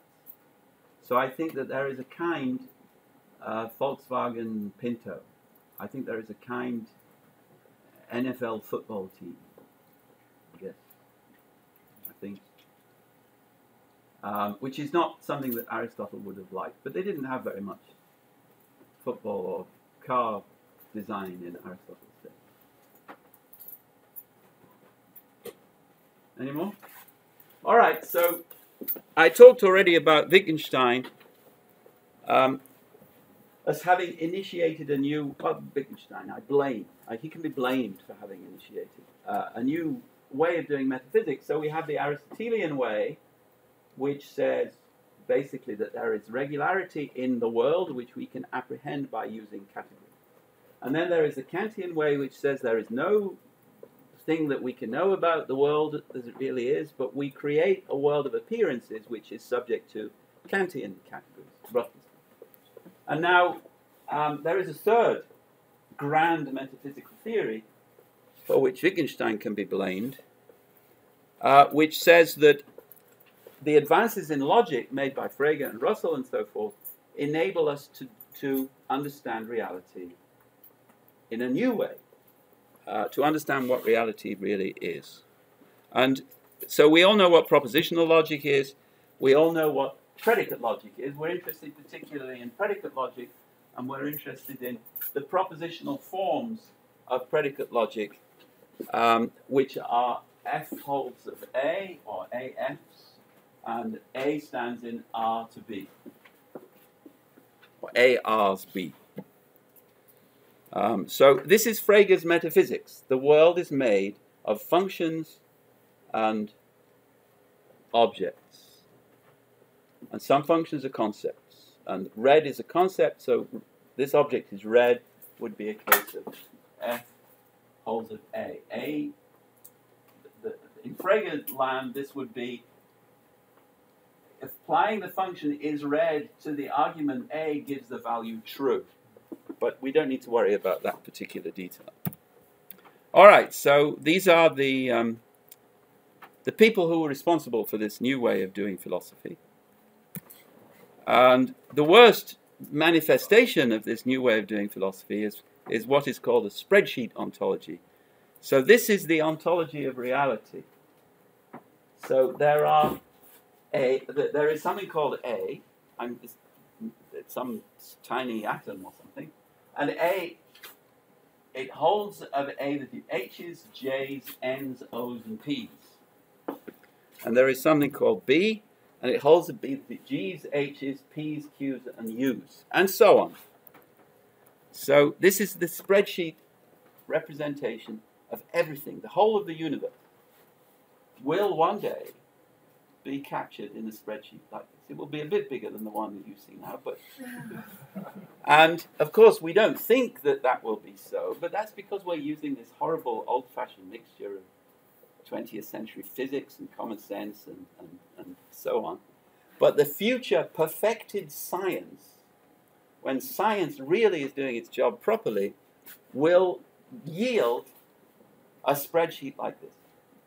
And whether it's a spreadsheet that holds for all time or whether you update it with each unit of time, it doesn't really matter. Um, now, this is what I call fantology uh, after the F of A. So, this is ontology based on fa. Um, and the spreadsheet ontology is the, just the cleanest example of fantology. I used to um, say that even Armstrong never really believed in this because the only place where he published it, and he did publish it, was in French. but it turns out that he also published in English. I guess the English original eventually he did publish. So that even that can't be used as a, an excuse. So I think this is evidence that something has gone very wrong here. That the spreadsheet ontology cannot possibly be a correct ontology of what is. And the idea is that the syntax of first order predicate logic is a mirror of reality. And you can call this linguistic Kantianism. So it, it, you can, t- in other words, you can give this a Kantian reading. The Kantian reading would say, when we're doing science, so the only way to know what really is is to do perfected science, the science of the future when everything is perfect uh, in science. The only way to understand reality is to do perfected science. Perfected science will use first order predicate logic, and therefore the only way to understand reality is, to through, is through the spectacles of predicate logic. And when you put together all the propositions of science using the spectacles of predicate logic, you get a spreadsheet like that. And you'd have to have relations in there too, which would make the spreadsheet complicated. But um, that's, that, that's the Kantian view the Kantian version, that the only way we can know anything is through the spectacles of predicate logic. There is also a, an Aristotelian version, which, which is even more nonsensical, which says that everything in reality is either an individual thing or a predicate. Um, now, it depends what you mean by individual things and predicates, of course, but it seems to me that that is that doesn't have a hope of being right. Um, so, and I, I, I, guess most of this course will be uh, attempting to demonstrate that. All right, so the reason why this whole approach is so bad, uh, and I think Chisholm and the analytic metaphysics renaissance in the late 20th century was the first mainstream movement to break away from this approach. So before Chisholm, if you were a good philosopher, you used logic and you took fantology more or less for granted. I will not mention David Braun in this connection, um, but other people might um, I, that means he's a good philosopher, remember? I said every good philosopher. All right, now So the reason why this can't be right is because formal ontology deals with something different from what formal logic deals with. Formal logic deals with truth, formal ontology deals with entities, the things that there are in reality. Formal logic is concerned with consistency, and formal ontology is concerned with relations and collectives and various, various sorts. So formal ontology deals with formal ontological structures, formal logic deals with formal logical structures captured within a formal, a, th- a theory of formal logic. Um, now, one thing that we can think about is what formal means here and whether we are actually dealing with something which deserves to be called formal in the same sense. I like to define formal to mean domain neutral. And another way of putting that is to say that something is formal if it holds in all material spheres of reality. Now, the ontological structures which hold in all material spheres of reality are things like part-whole relations, and the formal logical structures which hold in all formal in all spheres of reality are things like um, uh, implication relations. A and B implies A. So, entails is a logical relation, part whole is an ontological relation, and then the first mistake of fantology is to say that all form is logical form. And you can find that sentence verbatim in Wittgenstein, for instance. And I have this paper called Against Fantology where I, I give all the evidence of this crime. So, I have a lot of slides now well, I still have time. Uh, about fantology. Um, now, the I said that it depends what you mean by a predicate and it depends what you mean by a thing if you're going to understand what fantology amounts to, or the spreadsheet ontology amounts to. So there is one view which tries to do ontological justice to fantology. So this is a, a, an understanding of the semantics of predicate logic in terms of ontological notions which are sort of compatible with Aristotle or with the, the philosopher whose name begins with P. Um, so in this view, F, the, the big letters, the F stands for a property and the little letters stand for an individual. You don't really know what an individual is from this, but not, Nelson Goodman uses the term a lot. Um, so he has a calculus of individuals. And then I do use the, nearly use the name of the philosopher begins with P here. So you have this realm of properties, and you could also make F stand for the set of all the individuals who have that property. So these are two alternative ways of reading this. Nelson Goodman would reject both because he was a nominalist, so he didn't believe in sets and he didn't believe in properties. But some people have accepted this kind of view of fantology. So the spreadsheet has the properties listed along the top and all the individuals in the universe, every single damned atom, assuming that perfect science still believes in atoms, listed down the vertical side of the spreadsheet. So, according to this broadly ontological reading of fantology, the world is made of properties and individuals, and the individuals have these properties much like the way that the substance has the accidents in the Aristotelian view. And when we know science, then what we know is that the sum of all the properties associated with each individual. I think that's a very uh, weird view of what science yields uh, but that's the, uh, the outcome of the Armstrongian fantologist approach. I like Armstrong very much, incidentally. I think he was a truly good philosopher. Um, he was the greatest living metaphysician until he died. Uh.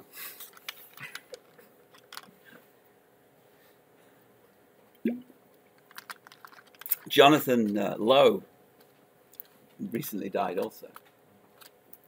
All right. So the problem with the properties view, I mean, we understand what properties are in terms of qualities, temperature, color, and so on. That's you can get your hands around that. It's not clear that the perfect science of the future will recognize those things, but at least we can understand what property might mean.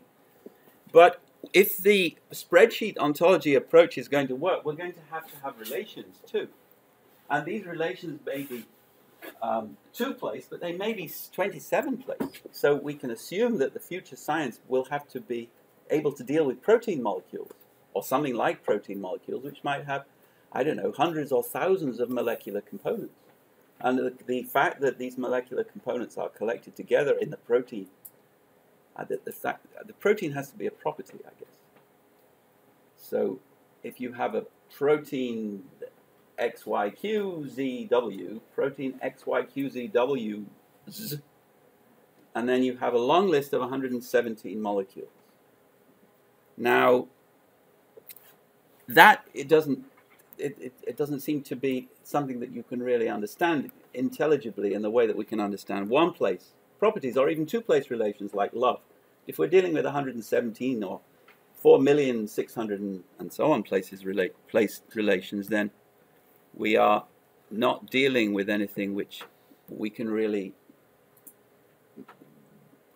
take seriously. Now, another feature of fantology, which again has been confessed to uh, in the literature of the fantologists themselves, is if you take a view that reality has this shape, where A stands for the things, the individuals, the particulars, and F stands for the anything which is general, general, the attributes, and so on, then this amounts to the view that all generality belongs to the predicate. So the A is a mere name, it's a mere index. So it's like a social security number, it doesn't contain any information. Now, actually, scientists use names in such a way that the names are full of generality. So the, the, this is a name, all of this. It's the DNA binding requirement of the yeast protein RAP1P is selected in silico from ribosomal protein gene promoter sequences. That's just one name. Now, that is not, to use that in science, is not going to be possible if you have to put all of that into, all of the generality here into the predicate, and then just say holds of some uh, index. And so this is ontologically complex, but fantology puts all the ontological complexity into the F, and so they have to conclude that the A is referring to something simple. So if you can't have any ontological complexity in the A, that means the A must be referred to something simple, which is why both Wittgenstein and Russell became logical atomists. Why the substance of the universe is, is simples, according to Wittgenstein. So you you're forced to atomism. The spreadsheet ontology only works if there are atoms, if everything is an atom. And so that's why the fantologists ended up being atomists. And so they can't do justice to coarse grained versus fine grained partitions of reality. They can't do justice to the canary ostrich DNA molecule zooming phenomenon that we referred to earlier, because the reality for them only has one level, the level of simples. And Wittgenstein says we can't know what the simples are, but we know that there must be simples. The reason why we must, why there must be simples is because predicate logic forces the names of the things which exist in reality themselves to be simples, to simple names. You Can't have complex names, and because you can't have complex names, and because logic is a, a mirror of reality, the things which are named by the names have to be simple themselves. And that's why, so fantology I see as being the evil force behind 20th century good philosophy. It would have been great without fantology. And fantology forces them to be reductionists, which is why Searle doesn't believe that money exists. Because Searle too was subject to this evil force. And fantology tends to make you believe in some future state of total science. That's Goodman, uh, uh, uh, Armstrong again.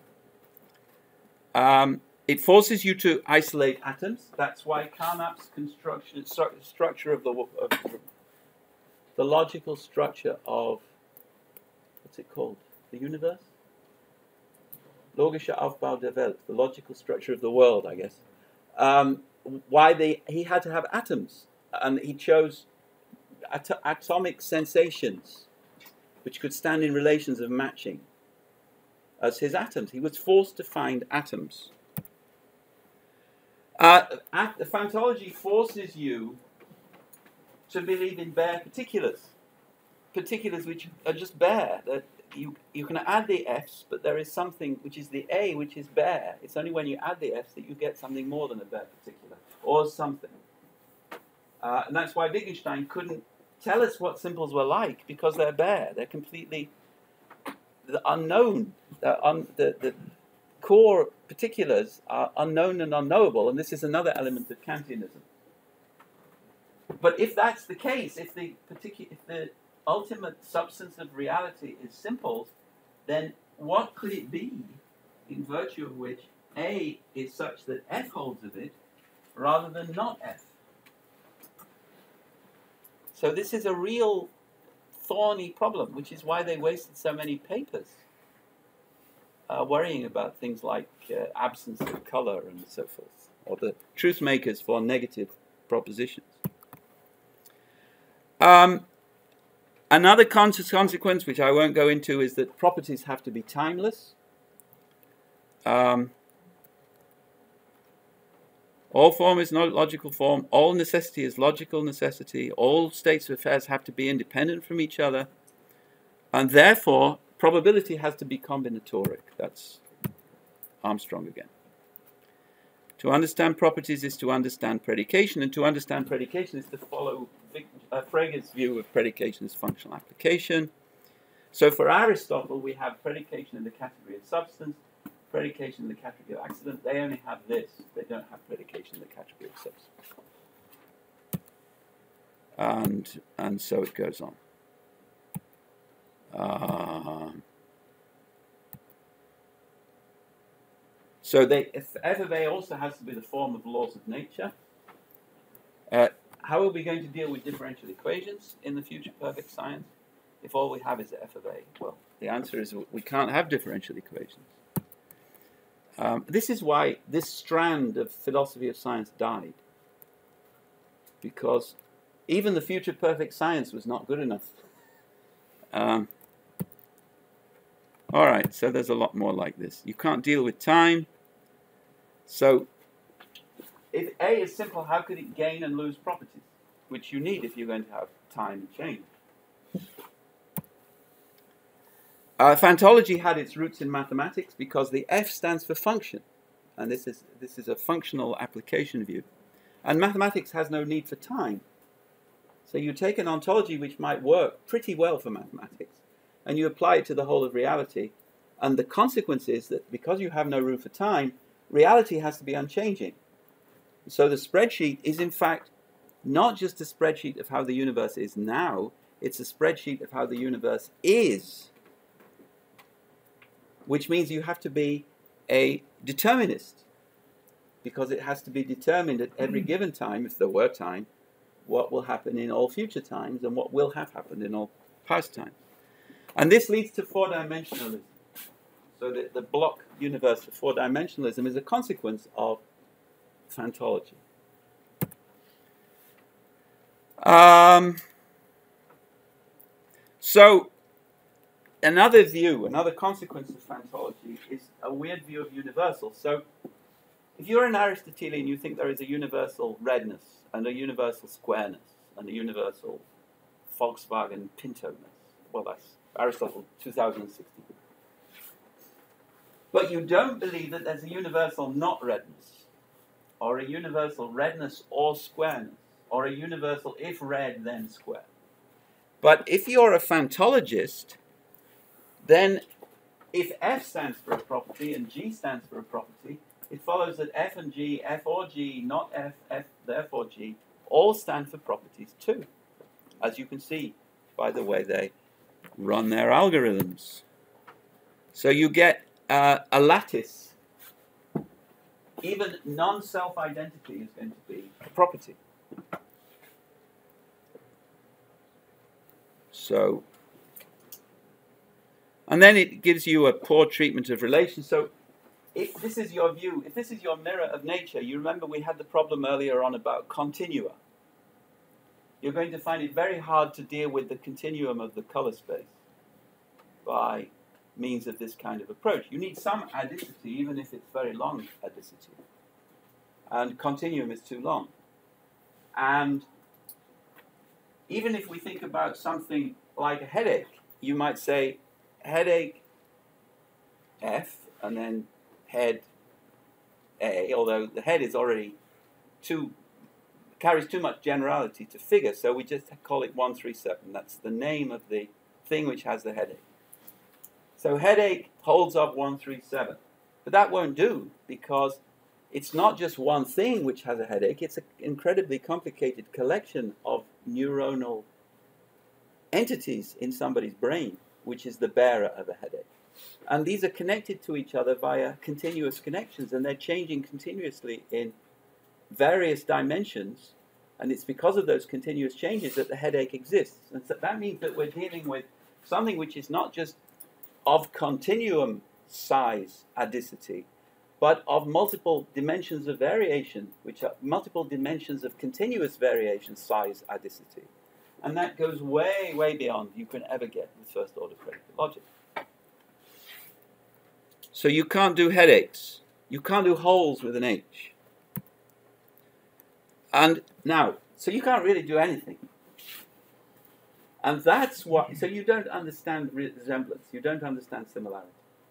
And so you talk about family resemblances. So that is the last desperate measure to try and shore up at least one hole in fantology. And David Lewis, then he, he tried to shore up the hole by adding a lot of possible worlds. Um, so, what the family resemblance? Uh, well, no, we don't need to talk about that. All right, so what is the better view? And I'll do this very quickly. So, I think that first order logic was a great achievement. So, I think Frege and Armstrong and all of the people between them were, were great philosophers.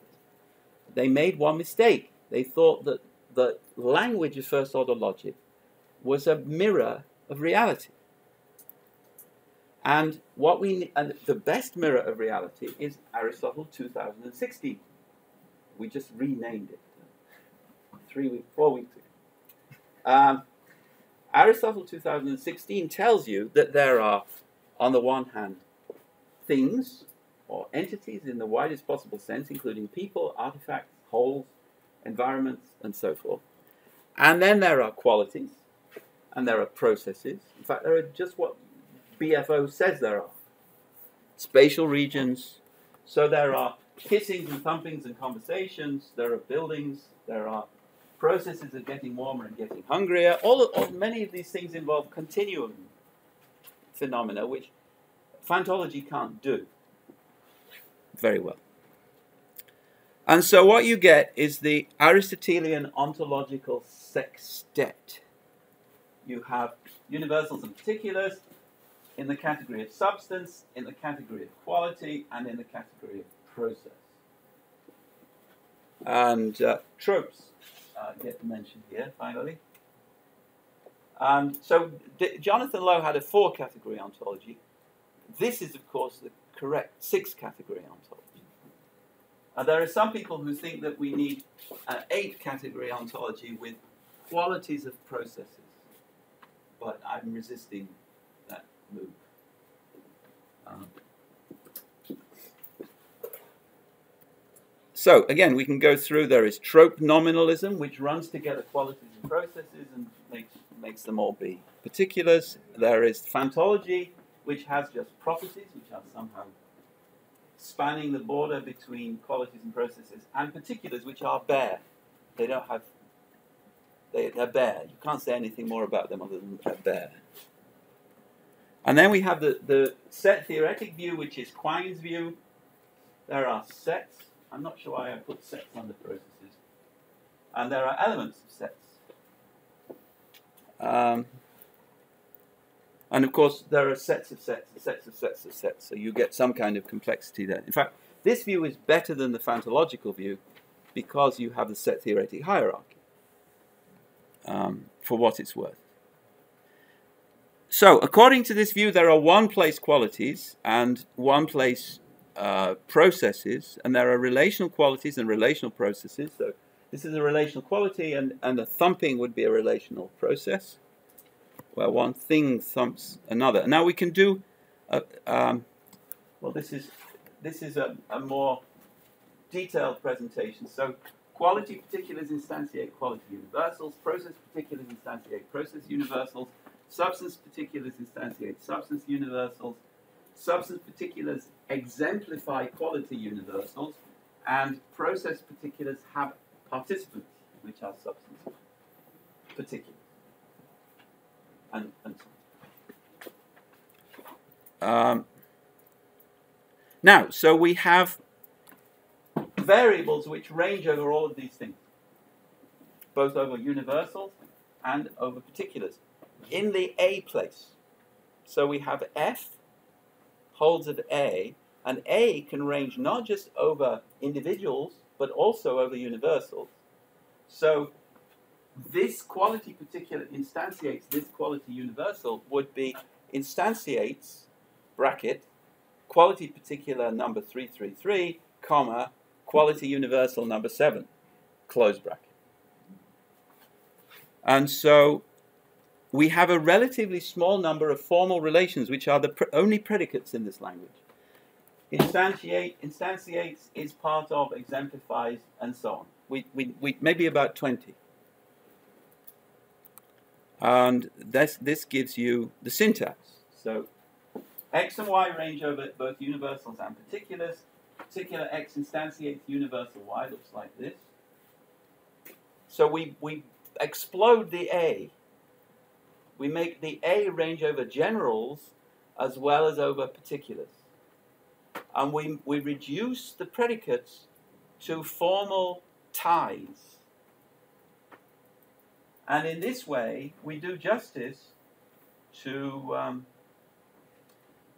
um, uh, one idea in the Tractatus, which is that logic does not represent anything. But we, we explode that idea by saying the predicates don't represent anything either. They're not extra entities. There are no F's and G's. There is just identity or part of, which are not extra entities which get stuck on things. They, they are part of the structure, part of the formal structure of what exists. And this is called FOLWUT, first order logic with universal terms, which rhymes with the German word for rabies. um, and that's more or less it. So I will put the slides. So it's actually, the syntax is quite close to the syntax of set theory. So we have just, in set theory, we have just a few predicates, which are all formal, and they're all binary, or standardly they're all binary. All right, so I will put the slides online, and I will email everybody the slides. Uh, I, I, did you put your email address on this? No. So if there is anyone who is not registered for the class, they should put their email on this piece of paper immediately. And then I will add you to the email list for the class.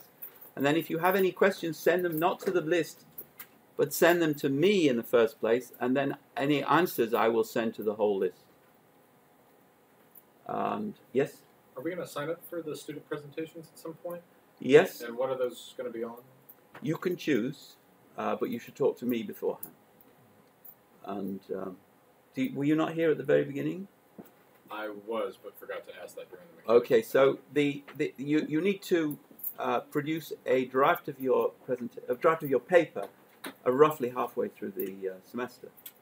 Um, so well before then, you should know what you're going to write about, and so you can email me a suggestion, or you can meet me either before class or after the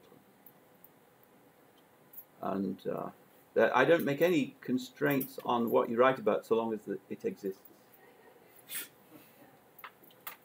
So no unicorns. All right. Any more questions or requests? Yep. Uh, I, I understand this will require a very abbreviated answer, but uh, what's at stake between competing metaphysical theories? Uh, for example, so I, so I wonder, we might say a human is a process. Yep. We might say a human is an entity. Seems like either one seems like a sensible way of talking. Uh, why would we favor one? I mean, what's at stake when we say, is a human really, really a, an entity, or are they really, really a process? So the philosophical answer to that question is uh, predicated on uh, another question. I mean, are you a student of philosophy? Yes. Why? If you don't think that those kinds of questions are worth pursuing, then why are you a student of philosophy? I don't have a background in metaphysics, so Oh, I see. So you are a student of which branch of philosophy per preference? Ethics?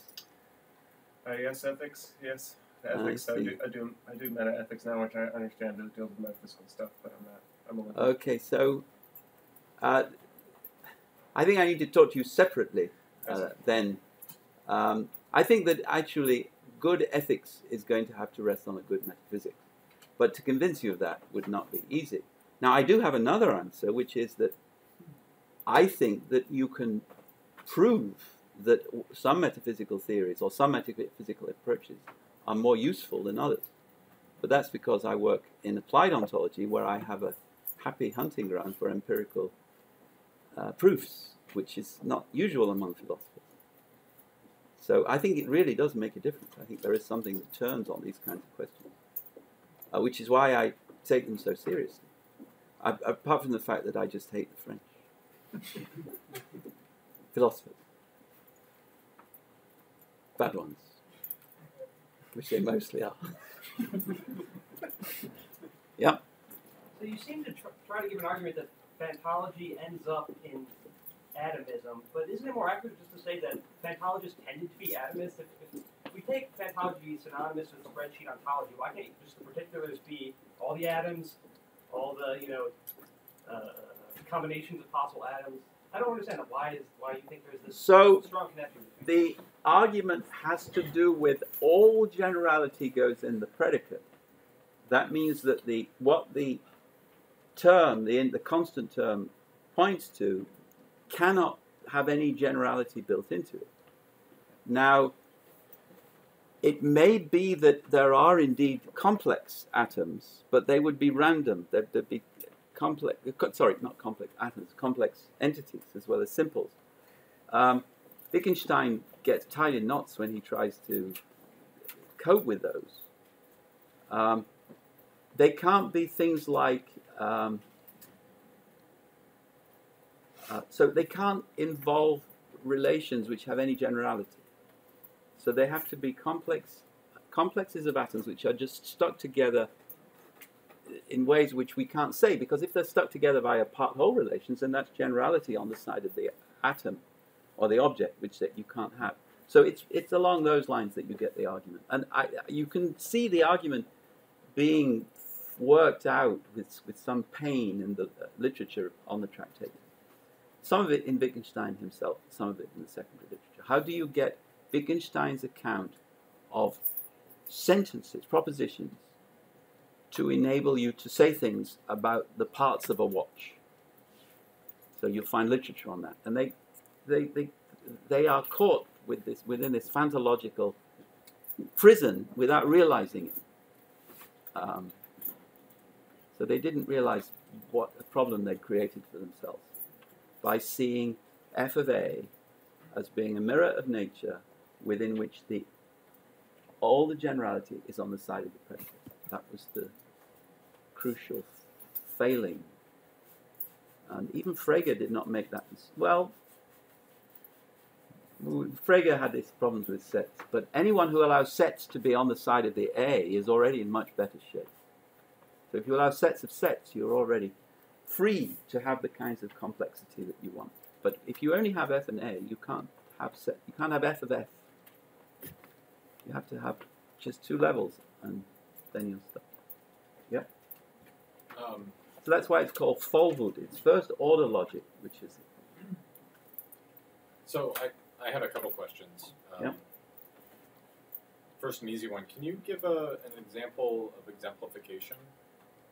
so you exemplify the quality of being five foot nine ish. All right, fine. Um, secondly, can you kind of explain your resistance to uh, processes bearing qualities and that debate? So I want the entities in my ontology should be only those entities which are really there. So if I give you a bowl of three oranges, and I say, What's in the bowl? And you say, Well, four things. There are the three oranges, and then there is the threeness. I will say, You're double counting. There isn't the three oranges plus the threeness. If you have three oranges, you already have the threeness. Now, similarly, uh, but if I say, um, What is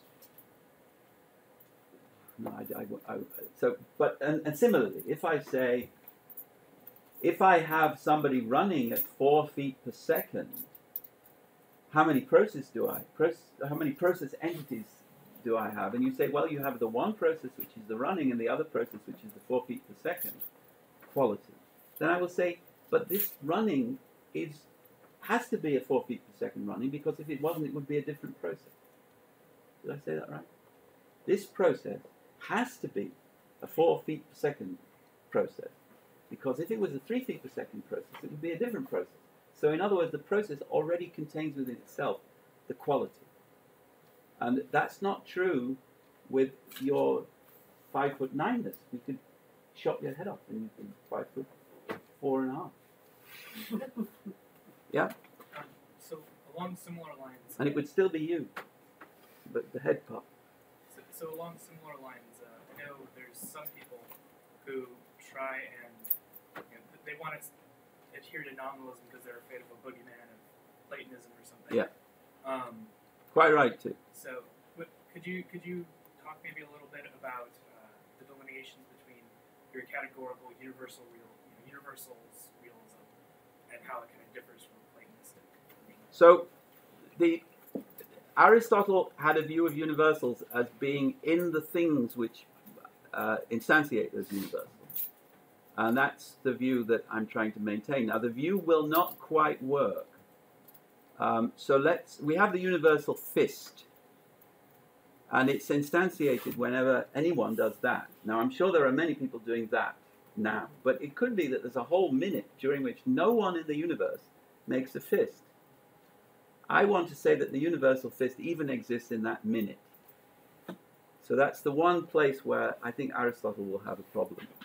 But broadly speaking, we see the universals all around us the shapes, the colors, the magnetisms, the electric, I don't know. We, we, we, we can measure them, we can assay them. So uh, we, and the similarities are, uh, the, the knowledge of the similarities underlies the measurement techniques that we use. So not just in science, but in virtually everything that we do, whether it's reading or hearing somebody speak or planning or uh, taking a, a bus somewhere, we are seeing universals in the things. That's why we climb into the bus rather than climbing into the frog. Because we see the universal bus.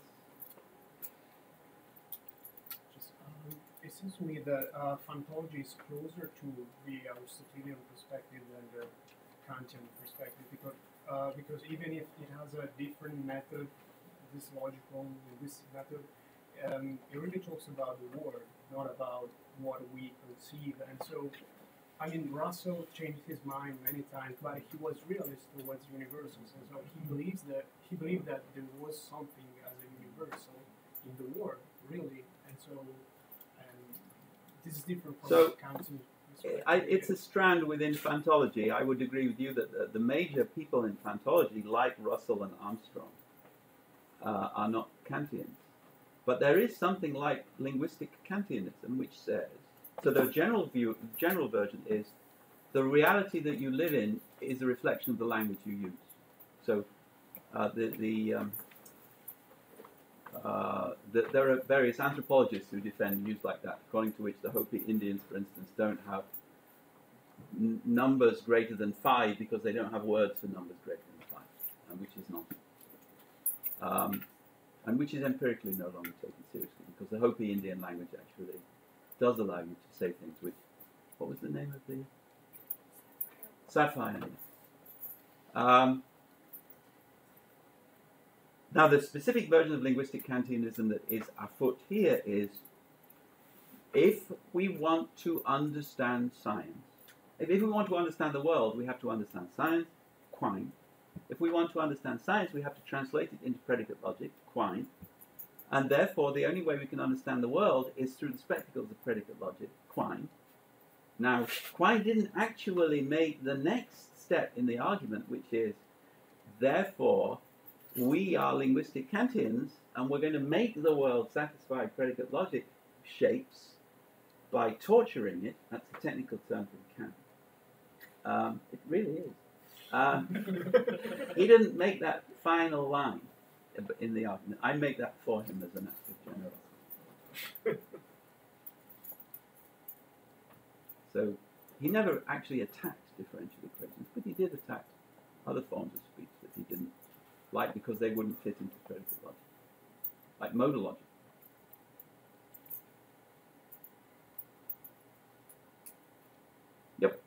Um, is uh, the UB student body an instance of a universal? Yep, Um, uh, inverse approximation. in first look. It's an um, artifactual universal. Um, and you want to say that this, if, if even if there were never a UB, that would be uh, that would exist. No, on the contrary, Okay. the, the artifactual ones are even more closely tied to the real world of what happens in this case. So the I, I like the Aristotelian idea that universals are parts in some special sense of part of their instances. That doesn't work so well for relational universals, and it doesn't work for Fist.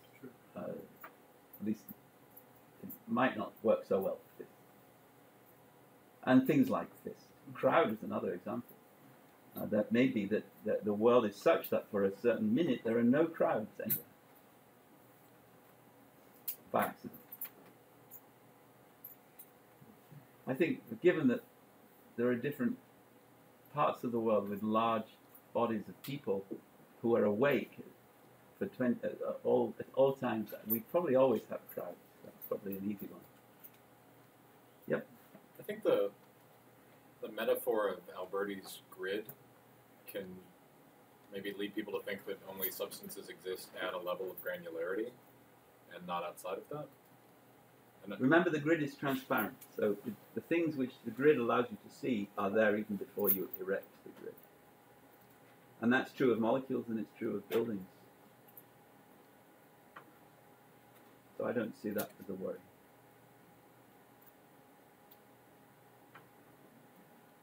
All right, so we will meet again next week.